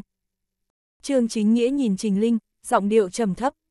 Vì tôi cũng không hợp tác với cảnh sát, tôi chỉ cần nói tên cho Hạ Thần Y mà thôi. Theo tôi biết thì Hạ Thần Y giải quyết phiền toái rất ít khi sử dụng lực lượng cảnh sát, anh ấy có phương pháp của mình, mà có thể đảm bảo Trình Tiểu Thư không bị cuốn vào. Trình Linh trầm mặc một lúc lâu, cuối cùng mới hỏi ngược lại. Phóng viên Trương, anh biết bây giờ nhà từ thiện lớn nhất nhạc Nam là ai không? chương 1351, sau lưng nhà từ thiện lớn nhất. Nhà từ thiện lớn nhất thành phố Nhạc Nam. Vẻ mặt Trương Chính Nghĩa hơi biến đổi. Trình Tiểu Thư, ý của cô là... Năm năm trước, sau khi chồng và con tôi gặp chuyện không may, tôi nhận được một khoản tiền quyên góp khổng lồ, nhưng tôi còn chưa kịp nói lời cảm tạ với người kia. Trình Linh khẽ nói, sau đó nàng đứng lên. Xấu hổ quá, phóng viên Trương, tôi phải đi, hy vọng anh không cần nhắc với bất kỳ ai về cuộc gặp mặt này. Trình Linh nhanh chóng rời khỏi phòng, Trương Chính Nghĩa cũng lấy trong túi ra một sấp tài liệu, sau đó cầm đũa, vừa ăn vừa xem. Bên bờ hồ Nguyệt Lạc, trong căn biệt thự của Hạ Thiên. Lúc trạng vạng tối, Hạ Thiên ra khỏi phòng, hắn khẽ thở ra một hơi, quá trình thi châm rất thuận lợi, Ninh Khiết đã thành kim đan, nàng đang ở trong quá trình vận công củng cố cuối cùng. Toàn bộ quá trình không có bất kỳ kẻ nào quấy dày, xem ra Hàn Minh Phi hoặc là không biết chỗ ở hiện tại của bọn họ, một là vì nguyên nhân yêu mến dạ Ngọc Mị nên không lập tức tiến hành đuổi giết. Hạ Thiên xác định Hàn Minh Phi yêu mến dạ Ngọc Mị, nếu không chiều qua 8 phần đối phương đã bắt dạ Ngọc Mị mang đi. Dưới tình huống mà Hàn Minh Phi không chủ động tấn công, Hạ Thiên tất nhiên cũng chỉ còn cách tự đi tìm xử lý Hàn Minh Phi, nhưng bây giờ hắn thật sự không có nắm chắc. Giải quyết vấn đề theo phương hướng bạo lực là tốt nhất nhưng không phải là duy nhất, nếu bạo lực không giải quyết được vấn đề thì Hạ Thiên cũng sẽ dùng phương pháp khác, mục đích không phải là chứng minh sự lợi hại sơ với người khác, hắn chỉ muốn đánh đuổi và xử lý tất cả kẻ địch mà thôi. Nếu em chân dài chịu dùng mỹ nhân kế để cho Hàn Minh Phi trúng độc, như vậy sẽ rất đơn giản. Hạ Thiên có chút đáng tiếc, em chân dài rõ ràng không chịu dùng mỹ nhân kế. Chẳng lẽ mình phải dùng mỹ nam kế? Hạ Thiên thầm nói nhưng lại lắc đầu, Hoàng Tĩnh Di kia tuy bộ dạng không tệ nhưng cũng không phải loại hình mà hắn yêu mến, hắn thấy Hoàng Tĩnh Di thậm chí không bằng cô gái ngoại quốc vừa xuất hiện ở đây. Hạ Thiên nghĩ đến cô gái ngoại quốc kia mà đứng lên đi ra biệt thự, các đó không xa một người đẹp tóc vàng mắt xanh eo nhỏ mông lớn bánh bao nhỏ đang gọi điện thoại cho ai đó, nói ra những lời mà hắn hoàn toàn không hiểu. Nhưng nghe không hiểu cũng chẳng có nghĩa là hắn không biết, hắn có thể nghe thấy giọng điệu phẫn nộ của cô gái kia, còn có chút bất đắc dĩ và sợ hãi, rõ ràng không giống như cảm xúc mà các du khách đến đây. Du lịch nên có. Hôm nay khi người phụ nữ này xuất hiện thì Hạ Thiên có chút ngạc nhiên, vì nàng quá đẹp và xuất hiện khá đột ngột. Sau đó hắn phải đi giúp Ninh Khiết thi châm, căn bản không có thời gian để ý đến đối phương, nhưng bây giờ hắn bắt đầu cảm thấy có chút không phù hợp. Ninh Khiết là vợ hắn, biết rõ hắn có việc gấp nên nhận được điện thoại và chạy đến, nhưng cô gái nước ngoài tên là Caroline này sao lại có thể quyết định đi du lịch với Ninh Khiết nhanh như vậy? Mà nàng còn là người mẫu, chẳng lẽ rảnh rỗi vậy sao? Có lẽ vì những ngày qua có khá nhiều chuyện xảy ra nên lúc này Hạ Thiên có chút nghi hoặc, hắn cảm thấy cô gái này xuất hiện không thích hợp, cũng có lẽ đó là giác quan thứ sáu của hắn. Đúng lúc này Caroline cuối cùng cúp điện thoại, sau đó quay người thấy được Hạ Thiên đứng ở bên cửa biệt thự, vì vậy mà trên mặt có chút kinh hoàng nhưng ngay sau đó đã khôi phục lại như thường. Nàng đi về phía Hạ Thiên, trên mặt đẹp lộ ra nụ cười ngọt ngào, trong miệng còn nói gì đó, sau đó đi qua hắn, đi vào trong biệt thự. Đóng kịch rất hay, rõ ràng có vấn đề. Hạ Thiên lầm bầm, sau đó lấy điện thoại gọi cho Mộc Hàm. Vợ, giúp tôi điều tra một người. 8 giờ tối, có một chiếc xe Santana màu đen dừng lại trên đường cái trước tòa nhà Ái Quốc, chỉ có một người ngồi trong xe, là Trương Chính Nghĩa. Tòa nhà Ái Quốc thật ra chỉ có 5 lầu, chủ nhân của nó tên là Tạ Thân Quốc, đối phương mở tòa nhà Ái Quốc này để làm tổng bộ từ thiện. Người giàu nhất thành phố Nhạc Nam là ông Lão Đinh Hương, mà nhà từ thiện lớn nhất Nhạc Nam chính là Tạ Thân Quốc. Tạ Thân Quốc vừa qua tuổi 60, lão là nhân vật truyền kỳ của Nhạc Nam, khi còn trẻ từng đi lính, sau khi xuất ngũ thì làm công nhân bốc vác, làm bảo vệ, làm rất nhiều ngành nghề, cuối cùng mới mở một công ty bảo vệ, chính thức làm giàu. Trong thời gian hơn 10 năm, người này kiếm được vài trăm triệu, mà trước đó 10 năm hắn đã tuyên bố mình đã kiếm đủ tiền, vì thế mà bán tất cả những sản nghiệp mình có, lại thành lập quỹ từ thiện ái quốc, bắt đầu đi làm từ thiện. Có người từng nói, hầu như tất cả mọi người ở thành phố Nhạc Nam này đều hoặc nhiều hoặc ít tiếp nhận sự hỗ trợ của tả thân quốc. Những năm qua số tiền mà tạ thân quốc đưa ra làm từ thiện đã vượt qua con số cả tỷ, nói lão là nhà từ thiện số một nhạc nam cũng hoàn toàn xứng đáng. Trong thành phố nhạc nam ai cũng nói tạ thân quốc là người tốt, là nhà từ thiện lớn, vì gần đây những nhà từ thiện như vậy là không nhiều, ngẫu nhiên làm việc thiện thì có nhưng kiên trì làm việc thiện thì rất khó, vì thế mới có câu nói, làm người tốt thì không khó nhưng cả đời làm người tốt mới khó. Ngày hôm trước Trương Chính Nghĩa cũng cho rằng tạ thân quốc là người tốt, mãi đến giữa trưa, Trình Linh nói ra một câu làm hắn phát hiện ra vấn đề, có lẽ sự việc cũng không đơn giản như những gì được thấy ở vẻ bề ngoài. Chiều nay Trương Chính Nghĩa xem xét lại những tư liệu điều tra của mình, sau đó hắn chính thức tìm được vài thứ. 6 năm trước tạ thân quốc tiến hành quyên góp cho một trường học, đó chính là trường mà Trình Linh đang dạy, trong quá trình đó Trình Linh từng tiếp xúc với tạ thân quốc. 5 năm trước chồng và con của Trình Linh đều gặp tai nạn xe hơi, cả hai đều mất mạng, Tả thân quốc đã quyên cho Trình Linh một triệu. Bốn năm trước Trình Linh tiến vào quỹ từ thiện ái quốc, trở thành một nhân viên làm công, nghe nói vì cảm tạ sự trợ giúp của Tả thân quốc với mình. Nhưng cũng khó thể không thừa nhận, sau đó Trình Linh trở thành một công nhân viên ở bên cạnh Tả thân quốc. Chưa qua Trình Linh đã nói với tạ thân quốc, cho đến bây giờ nàng còn chưa từng cảm tạ người giúp đỡ mình, có lẽ cũng vì không phải đối phương chỉ trợ giúp một lần. Trương Chính Nghĩa đã điều tra vài hạng mục quyên góp của tạ thân quốc, có vài xí nghiệp lớn ở thành phố Nhạc Nam đã quyên góp không ít tiền cho quỹ từ thiện của tả thân quốc. Sau khi cẩn thận xem xét thì những ông chủ xí nghiệp này lại có chút liên hệ với Bách Hoa Lâu mà trước đó Trương Chính Nghĩa từng điều tra. Trương Chính Nghĩa căn cứ vào tính mẫn cảm nghề nghiệp mà có một ý nghĩ khó thể tưởng, nhưng bây giờ xem ra đó là một dự đoán tương đối hợp lý. Nếu tả thân quốc kia là người đứng sau màn của Bách Hoa Lâu, quỹ từ thiện của tả thân quốc hiến tặng tiền cho nhiều nơi, thực tế không phải là quyên góp hiến tặng mà giúp Bách Hoa Lâu thu vào thêm nhiều. Năm xưa tạ thân quốc giúp đỡ Trình Linh cũng không phải là vì nghĩa, căn bản là muốn mua một thứ gì đó, nếu nói như vậy thì tất cả cũng đều có tính thuyết phục. Nhưng đây chỉ là suy đoán, Trương Chính Nghĩa không có chứng cứ, mà vừa rồi Trình Linh cũng không nói trắng ra, vì vậy lúc này hắn cũng không nói rõ cho Hạ Thiên biết. Hắn muốn mình tiếp tục điều tra, khi nào có đầy đủ chứng cứ sẽ báo với Hạ Thiên, vì hắn sợ mình tính sai, nếu lỡ may phạm sai lầm và hại chết một người tốt, như vậy nửa đời sau cũng khó thể tha thứ cho chính mình. Lúc này một chiếc xe dừng lại trước tòa nhà ái quốc, Trương Chính Nghĩa phục hồi tinh thần từ trong trầm tư, khi hắn thấy hình bóng quen thuộc từ chiếc xe kia đi ra thì không khỏi nhíu mày, người kia chính là Trình Linh. Lúc này Trình Linh đến đây làm gì? Trương Chính Nghĩa có chút mê hoặc, hắn nhìn tòa nhà ái quốc vẫn sáng đèn mà trong lòng thầm suy đoán, chẳng lẽ tạ thân quốc gọi Trình Linh đến. Tầng 5 tòa nhà ái quốc, phòng làm việc của hội trưởng. Trình Linh đi đến, nàng nhìn ông lão ngồi trên chiếc ghế ông chủ, trong lòng thầm mắng lão xúc sinh nhưng trên mặt lại nở nụ cười quyến rũ, âm thanh cũng rất ngọt ngào. Hội trưởng, tìm tôi muộn thế này rồi, không biết có chuyện gì. Năm năm qua cô phục vụ tôi rất tốt, vì vậy tôi mới cho cô thêm nhiều tự do. Tạ thân quốc tuy đã hơn 60 nhưng tinh thần vẫn rất tốt, cũng không có dấu hiệu giả lão. Nhưng cô quên một việc, vẻ mặt Trình Linh có hơi biến đổi, nhưng cũng lập tức khôi phục lại như thường, nàng nở nụ cười ngọt ngào nói. Hội trưởng, có phải anh nghe được vài lời bàn tán của kẻ nào đó? Trình Linh, cô cho rằng tôi không biết những chuyện mờ ám của cô sao? Tạ thân quốc lắc đầu, Tôi biết chuyện cô cùng uống cà phê với Điền Bác Phong, hôm nay cô lại cùng tên phóng viên kia ăn cơm, tôi biết rất rõ. Cô đã làm gì tôi đều biết rất rõ, nhưng cô thì không biết mình chỉ là một con chim hoàng yến, luôn bị nhốt trong sao sao gờ, chút tự do của cô chỉ là không gian nhỏ hẹp trong sao sao gờ sắt mà thôi. Vẻ mặt Trình Linh có chút trắng bệch, nàng cuối cùng cũng phát hiện mình đánh giá thấp lão già xúc sinh này. Tiểu tứ, xuất hiện đi. Tạ thân quốc hừ một tiếng, sau đó một người hắc y cao lớn xuất hiện trong phòng làm việc. Tiểu tứ, xử lý cô ta. Tạ thân quốc phất tay hời hợt nói. Trình Linh chợt cười lên như điên. Ha ha ha ha, lão già xúc sinh, ông cho rằng anh Tứ còn nghe lời mình sao? Anh Tứ, giết chết lão xúc sinh kia. Người đàn ông hắc y chợt động, cũng không phải đánh về phía tạ thân quốc như những gì Trình Linh suy nghĩ, hắn tiến về phía trước chụp lấy cổ nàng.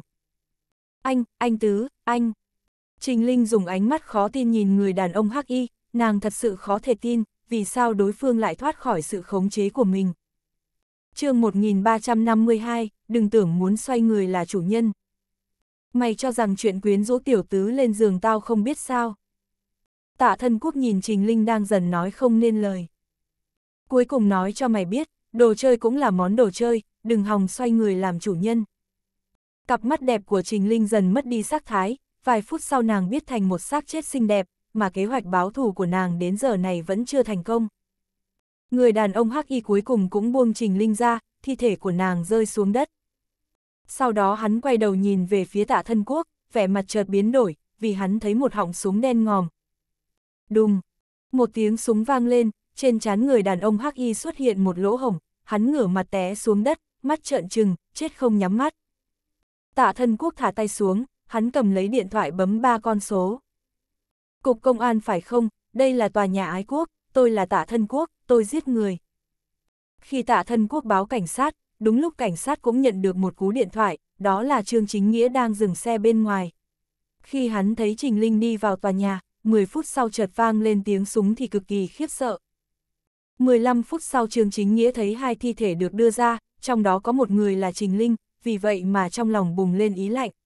Khi hắn thấy tạ thân quốc bị đưa lên xe cảnh sát, trong lòng hắn càng phẫn nộ, hắn không biết có chuyện gì xảy ra, nhưng hắn biết cái chết của Trình Linh nhất định có liên quan đến tạ thân quốc.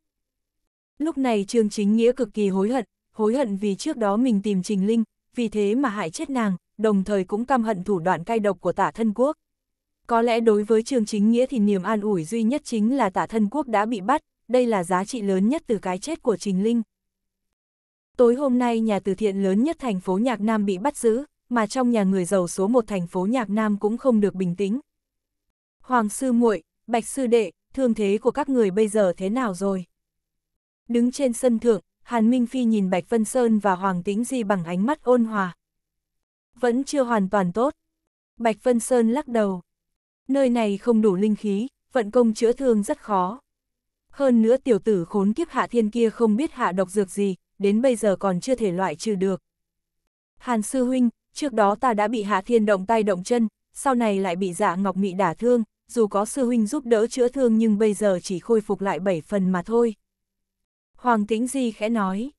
Linh khí trên thế giới này đã cạn, trừ khi có thiên phú cực tốt, nếu không thì sẽ rất khó tu luyện, điều này cũng làm cho thực lực của chúng ta bị hạn chế. Hàn Minh Phi vuốt cằm. Tất nhiên như vậy cũng tốt, ít nhất thì thực lực của dạ tiên tử bây giờ vẫn giống như 20 năm trước, nếu không với thiên phú của nàng, dù ba người chúng ta liên thủ cũng không phải là đối thủ. Tuy ta chưa từng gặp Hạ Thiên nhưng hai người chịu nhiều thiệt thòi, xem ra tên này thật sự khó lường. Hàn Minh Phi khẽ nhíu mày. Nhưng điều này cũng rất kỳ quái, nếu như hắn theo chân dạ tiên tử đến đây, sao trước nay ta chưa từng nghe nói về tiên tuổi của hắn. Nhưng nếu hắn thuộc về thế giới này, với trạng thái linh khí hiện tại, sao có người tu luyện đến cấp bậc tu vi như hắn được. Hàn sư huynh, ta cảm thấy không cần suy đoán nhiều, trực tiếp giết chết bọn họ là được. Hoàng tĩnh di hình như có chút tức giận. Ta cảm thấy nên bắt lấy bọn họ, hỏi ra vị trí của Nguyệt Sư Tỷ, sau đó giết chết bọn họ cũng không muộn. Bạch Vân Sơn cũng không phải hoàn toàn đồng ý với Hoàng Tĩnh Di. Hoàng Sư muội, Bạch Sư Đệ, cách làm của hai người thật sự có hơi quá. Âm thanh của Hàn Minh Phi có chút trầm thấp. Các người giết nhiều phàm nhân, mà những chuyện đó hoàn toàn không cần thiết. Hàn Sư Huynh, rõ ràng là bọn họ muốn chết, lại muốn đùa giỡn ta, còn có tên lừa gạt ta đến chỗ hẻo lánh để nói chuyện của Nguyệt Sư Tỷ, sau đó muốn sảm sỡ. Hoàng tính gì dùng giọng căm giận giải thích. Hàn Minh Phi khoát tay nói. Sự việc đã xảy ra cũng không cần giải thích gì nhiều, ta cũng không muốn truy cứu, ta chỉ hy vọng sau này các người làm việc cẩn thận thêm một chút. Thế giới này dù là nơi ở của phàm nhân nhưng cũng không khác gì thế giới chúng ta, những ngày qua tôi luôn cố gắng tìm hiểu nó, ta hy vọng các người cũng có thể tìm hiểu, không được tùy tiện giết người. Các người đừng quên chúng ta đến đây để tìm thanh nhã sư muội, không phải để giết người. Hàn Minh Phi dừng lại một chút rồi nói thêm. Tuy trước đó chúng ta chia nhau ra làm việc nhưng sau này chúng ta sẽ đi cùng nhau, hai người không phải là đối thủ của dạ tiên tử, hơn nữa còn đang bị thương, còn có tên Hạ Thiên kia, rất có thể sẽ gặp nguy hiểm. Mặt khác chúng ta cần phải liên lạc với các nhóm khác, có dạ tiên tử ở đây thì thanh nhã sư muội cũng không ở quá xa. Hàn sư huynh, chúng ta căn bản không biết tình huống của người khác, sao có thể liên lạc với bọn họ. Bạch Vân Sơn rõ ràng tán thành ý kiến của Hàn Minh Phi, nhưng hắn cũng không biết tiếp theo nên làm thế nào. Hoàng sư muội đã tìm được một vị trí không tồi, tên phàm nhân Đinh Hương kia rất tôn kính chúng ta, cũng tình nguyện làm mọi chuyện cho chúng ta, vì vậy ta nghĩ mình nên lợi dụng sức mạnh của tên phàm tục này. Hàn Minh Phi trầm ngâm rồi nói. Hoàng sư muội, muội đi nói với Đinh Hương, để xem hắn có thể tìm được các sư huynh đệ khác của chúng ta không. Được rồi, Hàn sư huynh, ta sẽ đi làm. Hoàng Tĩnh Di không phải rất tình nguyện nhưng vẫn đồng ý. Mặc khác để cho lão ta điều tra về Hạ Thiên, để xem có biết rõ về đối phương hay không. Hàn Minh Phi lại bổ sung một câu. Hoàng Tĩnh Di gật đầu rồi xoay người bỏ đi. Tối hôm nay Hạ Thiên cũng không được an tính, vợ Ninh Khiết xuất hiện, nàng bây giờ đã thành kim đan, tất nhiên các phương diện kỹ xảo càng thêm trưởng thành, một vài động tác khó cũng được nàng thể hiện hoàn mỹ hơn, có thể làm cho Hạ Thiên một đêm không ngủ. Sáng hôm sau, những tiếng rền rĩ vang lên thiếu chút nữa đã làm cho Hạ Thiên nhào lên người Ninh Khiết, nhưng hắn nhanh chóng phát hiện, âm thanh đó không phải của Ninh Khiết mà là của Mộc Hàm, vì Mộc Hàm điện thoại đến. Chồng, đã điều tra về người mà cậu cần. Âm thanh quyến rũ của Mộc Hàm vang lên. Caroline là người Tây Ban Nha, có huyết thống của Bồ Đào Nha và Pháp, năm nay 17 tuổi. Sao, mới 17 tuổi à? Hạ Thiên không khỏi hỏi một câu. À, hai tháng nữa mới 17 tuổi, cô ấy 14 tuổi đã nổi tiếng, hai năm sau đã là một siêu mẫu đắt giá. Cô ấy chủ yếu sống ở Mỹ và Anh, gia thế bình thường, xuất thân trung sản, cha mẹ không có gì đặc biệt, cô ấy quen biết với Ninh Khiết cũng rất bình thường. Bây giờ Ninh Khiết có danh tiếng rất lớn, là nhà thiết kế nổi tiếng, đặc biệt là ở phía Hong Kong, vì vậy Caroline đến đặt hàng cũng coi như là hợp lý. Mộc Hàm nhanh chóng giới thiệu tình huống về Caroline. Tạm thời chưa phát hiện cô ấy có gì không bình thường, nhưng tôi sẽ tiếp tục điều tra, có tin tức sẽ báo cho cậu biết. Được rồi, vợ, tôi đi ngủ đây. Hạ Thiên ngáp một cái rồi nằm xuống ngủ ở bên cạnh Ninh Khiết, cũng không còn thời gian quan tâm đến chuyện của Caroline. Trương Chính Nghĩa một đêm không ngủ, tối qua hắn lái xe đi theo xe cảnh sát đến ngoài cục công an, sau đó đứng bên ngoài, lại thông qua điện thoại liên hệ với một người bạn trong cục công an thành phố. Tuy tận mắt thấy tạ thân quốc bị bắt nhưng Trương Chính Nghĩa muốn biết đối phương bị khép tội danh gì. Trương Chính Nghĩa đốt một điếu thuốc rồi hít vào hai hơi, cố gắng làm cho tinh thần của mình tốt hơn một chút, sau đó hắn thấy một vị cảnh sát trung niên từ trong cục công an đi ra. Sau đó tên cảnh sát kia đi đến chiếc xe của Trương Chính Nghĩa, mở cửa xe leo lên. Anh Cao, thế nào? Trương Chính Nghĩa ngồi một điếu thuốc cho viên cảnh sát trung niên, sau đó mở miệng hỏi. Anh Cao hít vào một hơi rồi thở dài nói. Anh Trương, sợ rằng phải làm anh thất vọng. Sao vậy, tạ thân quốc không thừa nhận đã giết người sao? Trương Chính Nghĩa chợt căng thẳng. Anh Cao lắc đầu. Không, hắn thừa nhận, cái gì cũng thừa nhận. Vậy thì có vấn đề gì? Trương Chính Nghĩa thật sự khó hiểu. Vấn đề là hắn giết người vì phòng vệ. Anh Cao thở dài. Theo lời của hắn thì tên lão tứ kia là Lưu Manh, cố gắng cướp bóc và giết nhân viên Trình Linh, sau đó hắn bắn chết tên Lưu Manh kia. Căn cứ vào hiện trường thì lời khai của hắn cũng không có vấn đề, điều duy nhất cần bàn chính là hắn có chữ súng, đây là phi pháp. Tàng chữ súng thì tối đa chỉ giam vài năm thôi phải không? Trương Chính Nghĩa có chút căm tức. Giam vài năm. Anh Cao lắc đầu. Súng của anh ta cũng có vấn đề, nghe nói là quà tặng của một người bạn nước ngoài, là một cây súng cổ, có thể coi là hàng mỹ nghệ. Tất nhiên chúng tôi cũng không cho đó là hàng mỹ nghệ, nhưng đó cũng là một tình tiết giảm án. Tóm lại theo ý của Cục Công an, hắn căn bản không cần ngồi tù, nhiều nhất là bị phạt tiền, mà bản thân tạ thân quốc không thiếu tiền, vì thế sẽ không có vấn đề. Như vậy hắn giết người mà không có việc gì cả sao? Trương Chính Nghĩa thật sự phẫn nộ. Đúng vậy, tạ thân quốc này rất giỏi, giết người là báo cảnh sát, cái gì cũng chiếm ưu thế, nhưng sự việc cũng có chút kỳ quái. Anh Cao hút vào một hơi thuốc. Vốn cục công an muốn thả hắn ra, hắn cũng không muốn ngồi tù, nhưng lại yêu cầu cục công an dùng tội danh tàng trữ vũ khí để bắt mình lại. chương 1353, tình thế hỗn loạn. Tạ thân quốc chủ động yêu cầu muốn ngồi nhà lao. Trương Chính Nghĩa có chút buồn bực. Hắn ta đang muốn làm gì? Cũng chưa chắc sẽ ngồi nhà lao. Anh Cao lắc đầu nói. Như có lẽ đang muốn được bảo vệ. Anh Cao dừng lại một chút rồi nói thêm. Thật ra với loại người như tạ thân quốc thì cuộc sống sẽ rất thoải mái, dù vào tù cũng giống như đi nghỉ phép nhưng được cái an toàn, vì nhà lao sẽ an toàn hơn những nơi khác rất nhiều. Tôi có chút nghi ngờ người này muốn vào nhà lao để trốn ai đó, nếu như hắn ta thật sự là loại người này thì xem ra có rất nhiều kẻ thù, loại chuyện này tôi đã gặp qua khá nhiều, có vài tên tội phạm muốn lẩn tránh kẻ thù bằng cách vào nhà giam. Thì ra là thế. Trương Chính Nghĩa mơ hồ hiểu ra. Tôi nghĩ mình biết rõ hắn trốn ai. Được rồi, anh Trương, tôi phải về, tôi đi ăn sáng cũng không quá lâu. Tôi khuyên cậu đừng động vô chuyện này, vì gần đây ở thành phố Nhạc Nam này chết quá nhiều người, tôi cũng không muốn thấy anh trong nhà xác. Anh Cao vỗ vai Trương Chính Nghĩa, thấy bốn phía vắng lặng thì nhanh chóng xuống xe. Trương Chính Nghĩa nhìn anh Cao đi vào cục công an, sau đó hắn lấy điện thoại gọi đi. Hạ thần y, tôi là Trương Chính Nghĩa. Hạ Thiên phát hiện nếu cho nhiều người biết số điện thoại của mình thì đúng là không tốt, vì vậy mà lúc này hắn đang ngủ và bị Trương Chính Nghĩa điện thoại đánh thức. Nếu không phải nghe nói Trương Chính Nghĩa đã tìm được hung thủ sau màn, hắn thật sự muốn mắng đối phương một trận.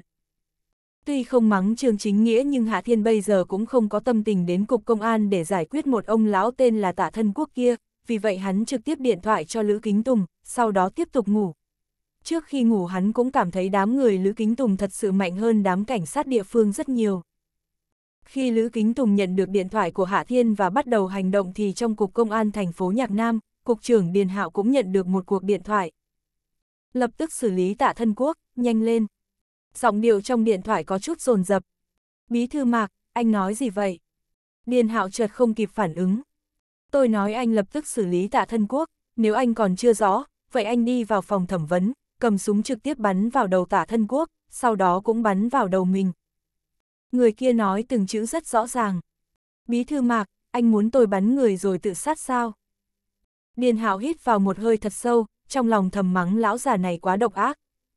Điền Hạo, nếu tả thân quốc rơi vào trong tay Hạ Thiên, tôi và anh sẽ không thoát, nếu anh chịu hy sinh, tôi đảm bảo sẽ chăm sóc tốt cho người nhà của anh, chính anh xem xét đi. Người ở đầu dây bên kia nói xong thì nặng nề cúp điện thoại. Sao ông không hy sinh? Điền hạo nhổ một bãi nước miếng xuống đất, vẻ mặt hắn rất âm trầm, tuy lão già kia ra lệnh làm hắn khó tiếp nhận, nhưng hắn biết đối phương không khoa trương. Nếu tả thân quốc rơi vào trong tay Hạ Thiên, tất cả sẽ không có kết cục tốt. Điền hạo đặt điện thoại xuống và đi ra phòng làm việc, hắn đi đến phòng thẩm vấn. Đáng lý ra quá trình thẩm vấn tạ thân quốc đã kết thúc, đang chuẩn bị đưa đi giam giữ, Điền Hạo định sắp xếp kẻ khác đi làm, nhưng xem ra bây giờ hắn phải tự mình ra tay. Điền Hạo nhanh chóng đi vào phòng thẩm vấn, lúc này trong phòng không có ai, mà tạ thân quốc cũng được đãi ngộ khá tốt, không phải mang còng. Hội trưởng tạ, đi thôi, tôi đưa anh đến buồng giam. Điền Hạo dùng giọng điềm nhiên như không nói. Chỉ sợ không phải anh đưa tôi đến buồng giam. Tạ thân quốc nhìn Điền Hạo, vẻ mặt bình tĩnh. Nếu chỉ là đưa xuống buồng giam, nào cần cục trưởng phải tự mình ra tay. Hội trưởng tạ, anh là nhà từ thiện lớn nhất thành phố Nhạc Nam, xét trên phương diện tôn trọng, tôi tiến anh một đoạn đường cũng đúng. Điền Hạo vẫn nở nụ cười. Người khác nói thì tôi có thể tin nhưng anh thì không, vì anh biết rõ tôi là người thế nào, mà tôi cũng biết anh là ai. Tạ thân quốc lắc đầu nói. Tôi sẽ không cho anh cơ hội ra tay trên đường đi, trừ khi anh ra tay ở đây. Anh thật sự cho rằng tôi không dám sao. Điền hạo nói có chút phẫn nộ. Nếu anh thức thời thì nên tự sát mới đúng. Tôi rất thức thời, vì vậy mới biết mình không cần chết, tôi vốn định vào nhà giam lẩn trốn nhưng bây giờ xem ra các người không thấy tôi chết sẽ chẳng bỏ qua. Đối với người bình thường thì trại giam sẽ là nơi bảo vệ nghiêm ngặt, nhưng đối với anh, nơi đó thật sự như trốn không người. Tạ thân quốc lắc đầu. Tôi chỉ không rõ, tôi chỉ là tàng trữ vũ khí phi pháp mà thôi, vì sao anh vội vã để tôi phải chết? Vì anh liên lụy đến tất cả chúng tôi. Điền hạo nổi giận nói. Anh biết rõ Hạ Thiên ở đây mà còn làm ra nhiều động tác như vậy, không muốn để Hạ Thiên biết cũng khó. Vẻ mặt tạ thân quốc chợt biến đổi. Hạ Thiên đã biết tôi rồi sao? Không thì anh nghĩ thế nào? Điền hạo hừ lạnh một tiếng. Cục An ninh Quốc gia đã nhận được lệnh của Hạ Thiên và đang đến đây, anh sẽ lập tức bị Cục An ninh Quốc gia đưa đi, đến lúc đó sự việc cuối cùng sẽ thoát khỏi sự khống chế của chúng ta. Đi nhầm một bước thua cả thế cờ. Vẻ mặt tạ thân quốc trở nên tiêu điều. Tôi cũng không ngờ chỉ vì một con đàn bà dâu Ria mà làm hại chúng ta đến nước này, tôi luôn cố gắng xử lý sự việc trong bóng tối, không cho Hạ Thiên chú ý, nhưng đáng tiếc là con Trình Linh kia lại âm thầm thúc đẩy sự kiện này, tuy chết nhưng vẫn ép ta vào đường chết. Tạ thân quốc thở dài một tiếng rồi ngẩng đầu. Điên hạo, anh nói đúng, bây giờ còn không bằng tôi tự sát, anh đưa súng đây, tôi muốn chết sảng khoái một chút. Tôi cũng không ngại chết, chỉ hy vọng các anh có thể quan tâm đến hậu nhân của tôi, ít nhất cũng không cần để cho chúng lo chuyện cơm áo trong thời gian 20 năm tới. Anh yên tâm, chúng ta đều đã nói trước, người nhà của anh sẽ sống rất khá. Điền hạo thản nhiên nói, sau đó lấy súng đặt trên mặt bàn thẩm vấn. Tạ thân quốc cầm lấy súng, sau đó chĩa vào đầu rồi cười khổ. Điền hạo, phụ nữ đẹp là thứ đừng nên đắc tội. Đùng, tiếng súng vang lên, Điền hạo ngã xuống đất. Tiếng súng vang lên làm cho cả cục công an chấn động, người đầu tiên xông vào phòng thẩm vấn chính là Điền Bác Phong. Tạ thân quốc đã buông súng, hắn đặt hai tay lên đầu. Người do tôi giết, bắt tôi lại, tốt nhất giữ chặt một chút, nếu không tôi còn có thể giết người. Một lát sau khi tất cả đám người của Cục Công an biết sự việc gì phát sinh thì đều cảm thấy mình như nằm mơ, một chuyện điên cuồng như vậy lại phát sinh ở Cục Công an thành phố Nhạc Nam sao? Đối với đám cảnh sát thành phố Nhạc Nam thì khoảng thời ghen qua rất không bình thường, vì bọn họ vừa gặp phải một kẻ điên là Hạ Thiên, đám người bọn họ cũng nhanh chóng giống như kẻ điên. Nhưng Hạ Thiên có thể ép bọn họ thành điên nhưng đó chưa là sự thật, lúc này thì bọn họ hầu như lại phát điên, vì đường đường là cục trưởng cục công an thành phố lại bị một tên tình nghi giết chết trong phòng thẩm vấn, mà kẻ tình nghi đó là nhà từ thiện lớn nhất thành phố Nhạc Nam, là tạ thân quốc. Ai cũng hầu như nổi điên, Điền Bác Phong thì coi như tỉnh táo, trước tiên hắn còng tay và xiềng chân tạ thân quốc, đưa đối phương sang một phòng thẩm vấn khác, sau đó nắm chặt cổ áo tạ thân quốc nói. Tạ thân quốc, ông điên rồi sao? Ông đúng là phát rồ, tối qua ông giết Trình Linh phải không? Cục trưởng Điền có phải phát hiện ra bí mật này, vì vậy mà ông giết chết anh ấy. Chỉ là một thằng cảnh sát mà thôi, có cái quái gì không được. Tạ thân quốc nói với vẻ mặt bình tĩnh. Dù là Điền Hạo hay là chúng mày, trong mắt tao thì đám cảnh sát nhạc nam chúng mày chỉ là một bầy chó mà thôi, giết đi một con thì có gì mà không được. Mẹ kiếp, muốn chết sao? Đánh chết nó đi. Thằng già kia, không muốn sống nữa sao? Không gian phòng thẩm vấn là có hạn, ngoài Điền Bác Phong và vài thành viên quan trọng của tổ trọng án thì những người khác phần lớn đều đứng bên ngoài quan sát, lúc này bọn họ nghe thấy lời nói sỉ nhục của tả thân quốc thì không kiềm lòng được, ai cũng tức giận gầm lên, cả đám muốn xông vào dậy bảo tả thân quốc. Muốn đánh nhau sao? Khi thấy đám người muốn xông vào thì tạ thân quốc tỏ ra khinh thường. Tao hy vọng chúng mày đánh tao, như vậy tao có thể tố chúng mày bức cung. Đừng xúc động. Điền bác phong đầu tiên quát lớn, sau đó nhìn tạ thân quốc. Tạ thân quốc, ông đừng đắc ý, ông giết chết cục trưởng Điền, ông sẽ không thoát đâu. Tiếp theo cảnh sát chúng tôi sẽ tiến hành thẩm vấn ông. Điền bác phong, tao biết rõ mày là một cảnh sát tốt. Tạ thân quốc mỉm cười, sau đó lại lắc đầu. Đáng tiếc, mày cũng chỉ là một thằng cảnh sát mà thôi, vì vậy cũng chỉ có thể theo chân đám cảnh sát của mày, trong mắt tao thì tất cả chỉ là chó má mà thôi, chúng mày căn bản không có tư cách thẩm tra tao, một lát nữa sẽ có người đến đưa tao đi, chúng mày làm được con mẹ gì. Tôi có thể giết cục trưởng của chúng mày như giết chó, sau đó Quang Minh rời khỏi cục công an, chúng mày cũng chỉ có thể trơ mắt nhìn tao bỏ đi mà thôi. Túi lắm, cục an ninh quốc gia thế nào lại nhúng tay vào vụ này. Mẹ nó, đám người Cục An ninh Quốc gia hình như quản quá rộng rồi thì phải. Cho dù Cục An ninh Quốc gia thật sự cần người, cũng chưa chắc cần một thằng già như mày. Lại là vài tiếng tức giận vang lên, rõ ràng lúc này đám cảnh sát cũng không liên hệ tả thân quốc với vụ nổ ở khách sạn Hồ Nguyệt Lạc, dù sao tội danh ban đầu của tả thân quốc chỉ là tàng trữ vũ khí bất hợp pháp mà thôi. Người của Cục An ninh Quốc gia đến, đang đến cổng rồi. Đúng lúc này có một người hô lớn. Bọn họ nói muốn đưa tạ thân quốc đi. Nghe nói như vậy thì đám cảnh sát đều lên tiếng mắng chửi. Con bà nó, đuổi chúng nó đi. Đừng cho bọn họ đi vào. Đi, đi ra xem, bọn họ dám vào thì ông dám nổ súng. Đám người cục công an vừa lên tiếng mắng mỏ vừa chạy ra ngoài, bọn họ nhanh chóng chạm mặt đám người của Cục An ninh Quốc gia do Lữ Kính Tùng cầm đầu. chương 1354, rằng co trước cổng Cục Công an. Khi Lữ Kính Tùng phát hiện có vài chục cảnh sát phóng ra và bao quanh nhóm người của mình, hắn vừa khó hiểu vừa bực bội, đám cảnh sát này có vấn đề sao? Chẳng lẽ muốn bị Hạ Thiên đánh mới chịu phục? Chúng tôi phụng mệnh đến bắt tạ thân quốc, tổ trưởng Hạ Thiên tự mình hạ lệnh, tôi hy vọng các người không ngăn trở. Lữ Kính Tùng cố nén tức giận, hắn trực tiếp đưa Hạ Thiên ra, không tin đám cảnh sát kia không sợ bị đòn. Đây là cục công an, không phải là cục an ninh quốc gia, các người không có tư cách ra lệnh cho chúng tôi. Có tên cảnh sát lên tiếng. Chúng tôi chỉ nghe lệnh của thủ trưởng trực tiếp, đừng nói là cục an ninh quốc gia, dù là chủ tịch nước cũng đừng hòng đến đưa tạ thân quốc đi. Vậy gọi cục trưởng của các người ra đây. Lữ Kính Tùng cực kỳ bực bội, hắn không muốn chuyện gì cũng tìm Hạ Thiên, như vậy sẽ bị cho rằng năng lực kém. Dù sao hắn cũng là đặc công long tổ, tất nhiên sẽ không thèm quan tâm đến đám cảnh sát bình thường. Muốn gặp cục trưởng của chúng tôi sao? Được. Tên cảnh sát kia lên tiếng cười lạnh. Mày cầm súng bắn vào đầu đi, sẽ được gặp cục trưởng của chúng tao. Các người có phải muốn tôi điện thoại cho tổ trưởng Hạ Thiên không? Lữ Kính Tùng lạnh lùng nói. Đám cảnh sát các người ba lần bảy lượt không chịu phối hợp, chẳng lẽ muốn bao che cho tội phạm?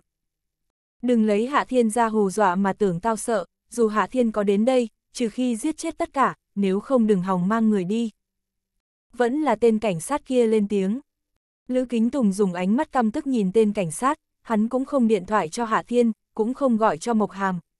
Nguyên nhân rất đơn giản, nếu hắn điện thoại cho Hạ Thiên đến xử lý vụ này, hắn cũng coi như không xứng với chức vụ đặc công Long Tổ.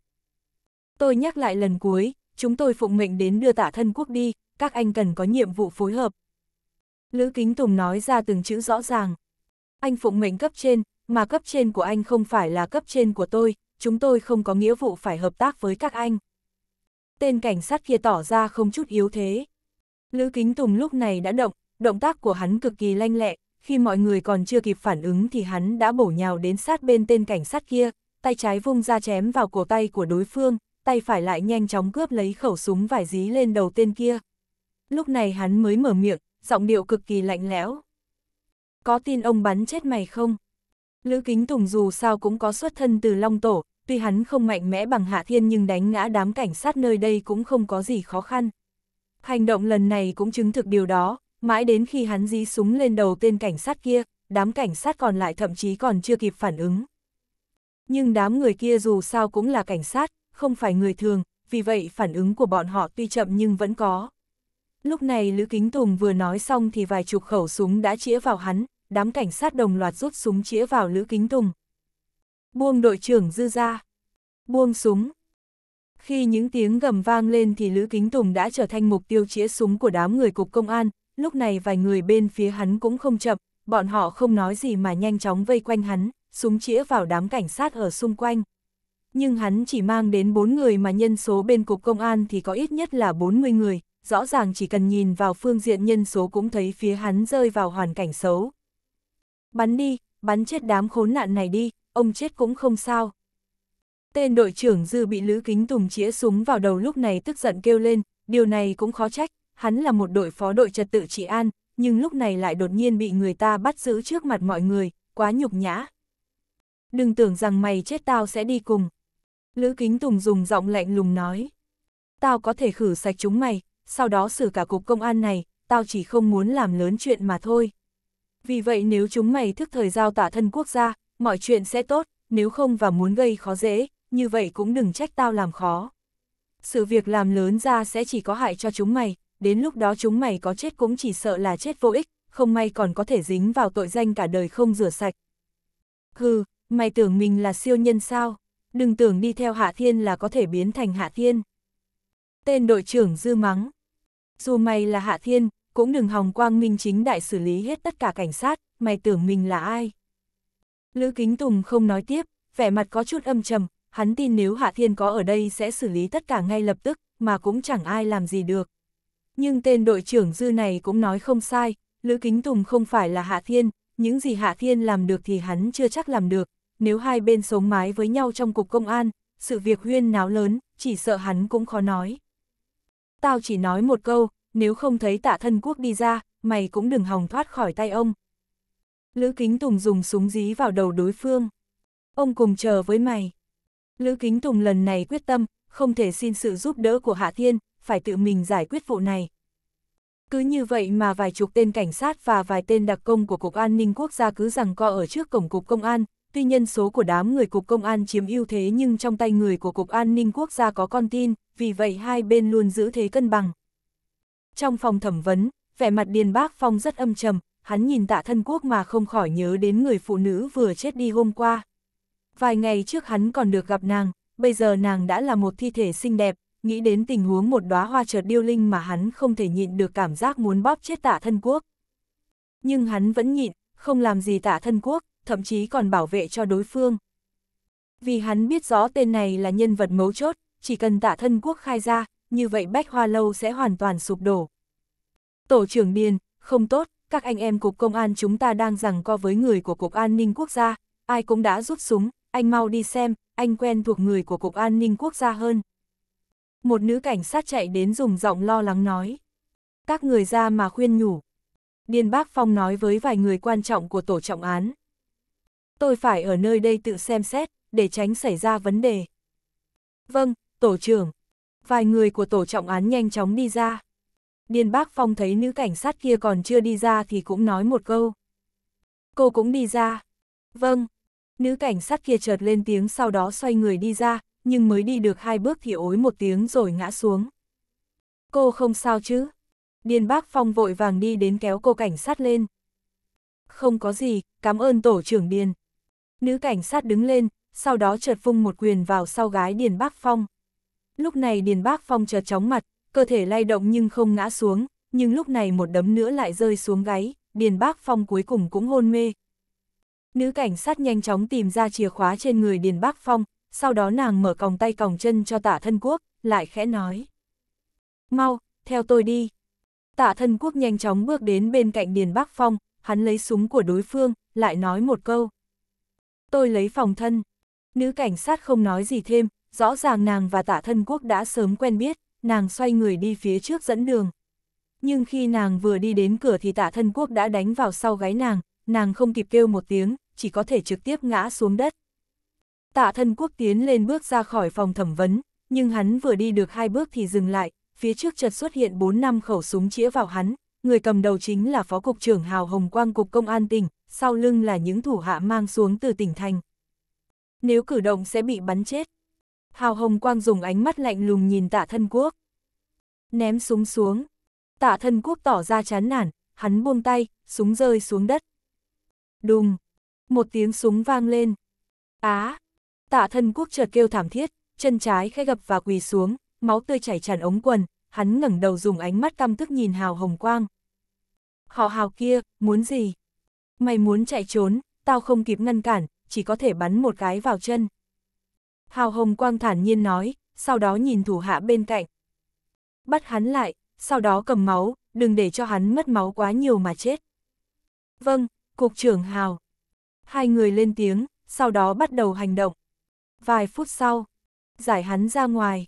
Hào Hồng Quang sung trận lên trước, hắn đi đầu, mười mấy tên cảnh sát cục công an tỉnh đi theo sau cùng áp giải tạ thân quốc ra ngoài cục công an. Lúc này ngoài cổng cục công an, vài chục tên cảnh sát vẫn vây quanh bốn người cục an ninh quốc gia vào giữa. Làm gì vậy? Các người làm gì vậy? Hạ súng xuống. Hào Hồng Quang tức giận quát. Cục trưởng Hào, tôi vâng lệnh của tổ trưởng Hạ đến đây đưa tạ thân quốc đi, nhân viên của các anh lại cản trở, có ý gì? Lữ Kính Tùng lạnh giọng hỏi. Lữ tiên sinh, việc này có chút hiểu lầm. Hào Hồng Quang vội vàng giải thích, sau đó nhìn đám cảnh sát cục công an thành phố Nhạc Nam. Hạ súng xuống, nghe thấy không? Cục trưởng Hào, chúng tôi chỉ muốn nghe lệnh thượng cấp. Một tên cảnh sát lên tiếng, mà đám người còn lại cũng không nói gì, cũng không buông súng. Thế nào, cục công an này muốn độc lập sao? Một âm thanh tức giận từ ngoài cửa truyền vào. Đám cảnh sát cục công an thành phố Nhạc Nam nghe cho rõ đây, nếu không buông súng, sau này cút khỏi cục công an, về nhà làm ruộng. chương 1355, làm sao còn chưa đi? Khi thấy người này thì vẻ mặt đám người cục công an chợt biến đổi, có chút bất an, cũng có vài người đã hạ súng xuống. Nguyên nhân rất đơn giản, người này tuy không phải là thủ trưởng trực tiếp của bọn họ nhưng là chủ tịch thành phố Nhạc Nam, đường dịch danh. Đám người của Cục Công an có thể không quan tâm đến mệnh lệnh của Hào Hồng Quang, vì Hào Hồng Quang dù sao cũng chỉ là phó cục trưởng Cục Công an tỉnh, có câu nói quan huyện không bằng quan đang trông nom, Hào Hồng Quang tuy có chức vị cao nhưng dù sao cũng là người của Cục Công an tỉnh, sẽ không thường xuyên trú ở đây. Lữ Kính Tùng cũng giống như vậy, Cục An ninh Quốc gia và Cục Công an cũng không có quan hệ lệ thuộc, hơn nữa pháp luật không trách số đông, nhiều người cùng đắc tội với hai người, bọn họ sẽ cảm thấy vấn đề không quá lớn. Nhưng đường dịch danh thì khác, người này là chủ tịch thành phố Nhạc Nam, bất cứ lúc nào cũng có thể triệt tiêu chức vụ của bọn họ. Lời nói cho bọn họ về làm ruộng của chủ tịch thành phố cũng không phải chỉ là nói xuông, vị chủ tịch này thật sự có thể vứt bỏ bát cơm của bọn họ bất cứ lúc nào. Những năm nay thứ gì là quan trọng nhất, nói trắng ra thì bát cơm là quan trọng nhất. Còn chưa mau buông súng. Đường dịch danh nổi giận gầm lên. Lúc này ai cũng buông súng, tất nhiên đám người của Cục An ninh Quốc gia thì ngoại lệ. Buông súng ra. Lữ Kính Tùng lúc này mở miệng nói, dù sao hắn cũng không muốn rơi vào tình huống phải nổ súng. Chủ tịch đường, Cục Công an tỉnh có lệnh để chúng tôi đưa tạ thân quốc về tỉnh, anh xem có vấn đề gì không? Hào Hồng Quang đi về phía đường dịch danh rồi hỏi. Cục trưởng Hào, tôi biết rõ vụ này, mà vụ án này để cho Cục Công an tỉnh ra mặt điều tra sẽ thích hợp hơn. Đường dịch danh khẽ gật đầu nói. Cục trưởng Hào. Lữ Kính Tùng khẽ nhíu mày. Hào Hồng Quang khoát tay, hắn khẽ nháy mắt với Lữ Kính Tùng, mà Lữ Kính Tùng cũng hiểu ý, không tiếp tục lên tiếng. Chủ tịch đường, vì để tránh xuất hiện tình huống ngoài ý muốn, tôi định sẽ áp giải phạm nhân đi vào ngay lúc này, phiền anh giải quyết những phiền toái ở đây. Hào Hồng Quang còn nói thêm, không có vấn đề, phối hợp điều tra với Cục Công an tỉnh chính là nghĩa vụ của tất cả mọi người thành phố Nhạc Nam. Đường dịch danh rõ ràng rất dễ nói chuyện. Tôi cũng không muốn làm chậm trễ thời gian. Hào Hồng Quang bắt tay với đường dịch danh, sau đó hắn vung tay. Đưa người đi. Tạ thân quốc nhanh chóng bị áp tải lên xe của Cục Công an tỉnh, Hào Hồng Quang cũng nhanh chóng lên xe đưa tạ thân quốc rời đi, mà Lữ Kính Tùng cũng nhanh chóng đi theo. Vì đường dịch danh soát hiện, hơn nữa tạ thân quốc được người của Cục Công an tỉnh mang đi, cũng không phải là người của Cục An ninh Quốc gia đưa đi, vì vậy mà phía Cục Công an thành phố Nhạc Nam bên này cũng không có hành vi chống đối, đoàn người của Cục Công an tỉnh cũng nhanh chóng rời khỏi Cục Công an thành phố Nhạc Nam. Chỉ sau 10 phút thì đoàn xe chợt giảm tốc độ, sau đó dừng hẳn lại. Những người khác ở trên xe, chỉ có Hào Hồng Quang xuống xe, mà xe của Lữ Kính Tùng cũng dừng ở bên đường, sau đó hắn mở cửa đi về phía Hào Hồng Quang.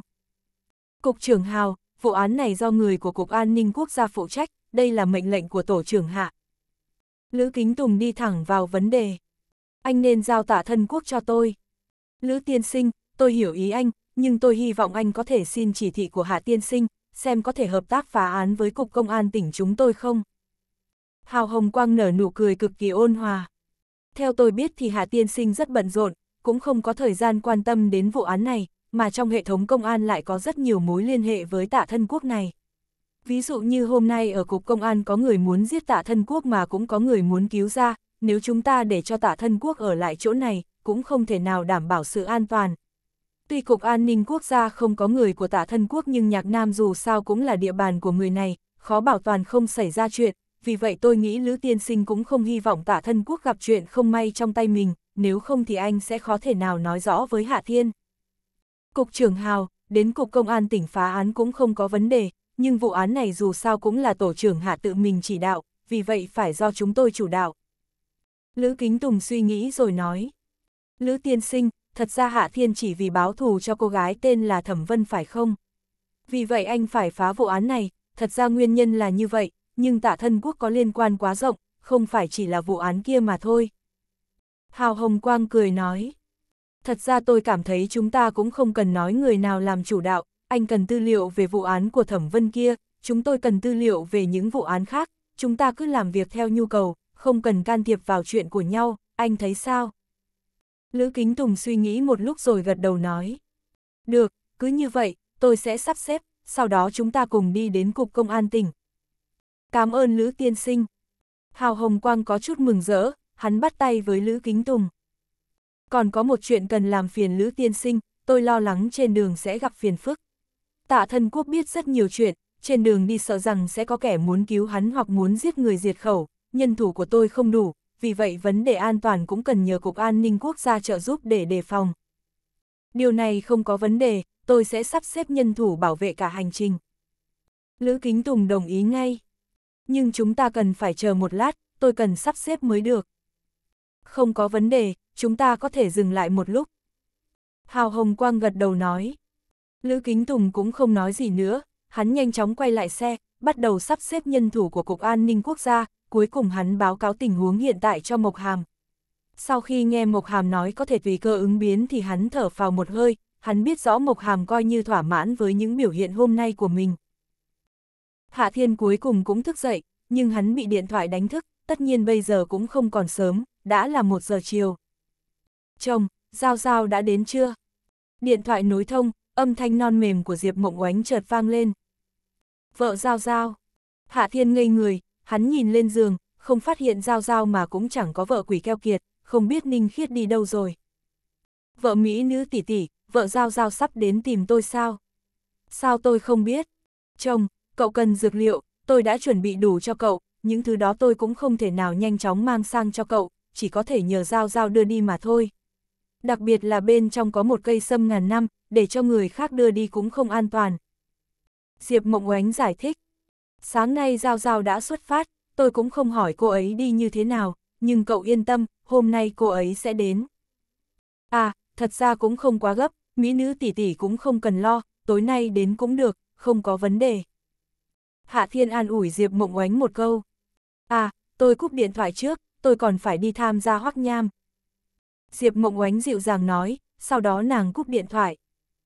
Hạ Thiên cuối cùng cũng mặc quần áo thức dậy, hắn đi xuống lầu và phát hiện phòng khách có chút quạnh quẽ, ngoài Liễu Vân Anh thì không còn ai khác. Anh rể, anh thức dậy rồi à? Liễu Vân Anh ngồi trong phòng khách lấy điện thoại ra chơi game rất nhàm chán, khi thấy Hạ Thiên đi xuống thì nàng vội vàng bắt chuyện.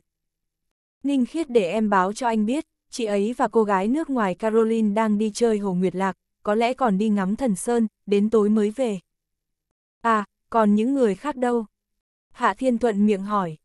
Anh Phong cùng cha mẹ đã đi rồi, bọn họ đi tỉnh thành, nói là thi thể của Thẩm Vân đã bị cảnh sát tỉnh đưa đi, vụ án do Cục Công an tỉnh tiếp nhận, mà những thủ hạ Cục An ninh Quốc gia của anh rể cũng đã đến tỉnh thành. Liễu Vân Anh nhanh chóng nói. Chị Phỉ Phỉ cũng về tỉnh thành, vốn chị ấy định nói với anh một tiếng, nhưng anh đang ngủ, chị ấy bảo em nhắn lại. Nói như vậy thì bọn họ đi hết rồi sao? Hạ Thiên dùng ánh mắt kỳ quái nhìn Liễu Vân Anh. Sao em còn chưa đi? Anh rể, anh cứ như vậy mà đuổi em đi sao? Liễu Vân Anh có chút buồn bực. Tất nhiên. Hạ Thiên ngáp một cái. Em không phải là chị của mình, em ở lại làm gì? Liễu Vân Anh thiếu chút nữa đã bị những lời của Hạ Thiên làm cho nghẹn chết, một lúc lâu sau nàng mới lầm bầm. Em cũng sẽ không tố cáo với chị là anh ở đây yêu đương vụng trộm, anh gấp cái gì? Không đợi Hạ Thiên lên tiếng, Liễu Vân Anh tiếp tục mở miệng. Anh rể cứ yên tâm, em sẽ đi ngay, chị Phỉ Phỉ nói em về tỉnh thành, trước tiên em sẽ điện thoại hỏi thăm, không biết đã lên đường chưa? Liễu Vân Anh lập tức điện thoại cho Hào Phỉ Phỉ, sau đó nàng cúp điện thoại và có chút buồn bực. Chị Phỉ Phỉ nói đã đến tỉnh thành, vậy em ngày mai sẽ đi. Tùy em, anh ra ngoài đi ăn đây. Hạ Thiên đang định đi ra khỏi cửa thì dừng bước. Kỳ quái, em chân dài sao không có trong phòng. Hạ Thiên xoay người lên lầu đẩy cửa phòng ngủ của dạ Ngọc Mị, hắn phát hiện bên trong rỗng tuếch, điều này làm hắn có chút buồn bực, người phụ nữ này lại chạy đi đâu. Không phải hẹn hò cùng Hàn Minh Phi đấy chứ. Người này sẽ là vợ của mình mà bây giờ bắt đầu đi hẹn hò với kẻ khác, đúng là em chân dài cần ăn đòn, xem ra chân dài cũng không tốt, vì rất dễ chạy mất. Hạ Thiên lầm bầm, sau đó hắn biến mất trong phòng của dạ Ngọc Mị, hắn cũng không quan tâm, đi ăn trước rồi nói sau. Khi đoàn xe của Cục Công an tỉnh chỉ còn cách tỉnh thành 20 km thì phía trước và phía sau đầy xe, vài chiếc xe cảnh sát phải dừng lại. Đoạn đường này bình thường có rất ít xe, hai bên đều là đồng ruộng, xung quanh không có nhà cửa, rất quạnh quẽ, nhưng bây giờ có nhiều xe thế này, rõ ràng là có vấn đề. Đi xem có chuyện gì xảy ra. Hào Hồng Quang ngồi trong xe phân phó, vẻ mặt hắn có chút âm trầm, sáng nay xuất phát từ thành phố Nhạc Nam đã bị kẹt xe hai lần, nhưng không có gì phát sinh, đường đi khá thuận lợi, nhưng bây giờ sắp đến tỉnh thành thì có vấn đề. Cục trưởng Hào, phía trước có một cây cầu nhỏ bị sập, xe đều khó qua lại, công nhân đang tu sửa một con đường khác, nói rằng sẽ mất nửa giờ mới đi qua được. Một viên thủ hạ của Hào Hồng Quang nhanh chóng quay lại báo cáo tình huống. Audio điện tử võ tấn bền. Hết chương 1355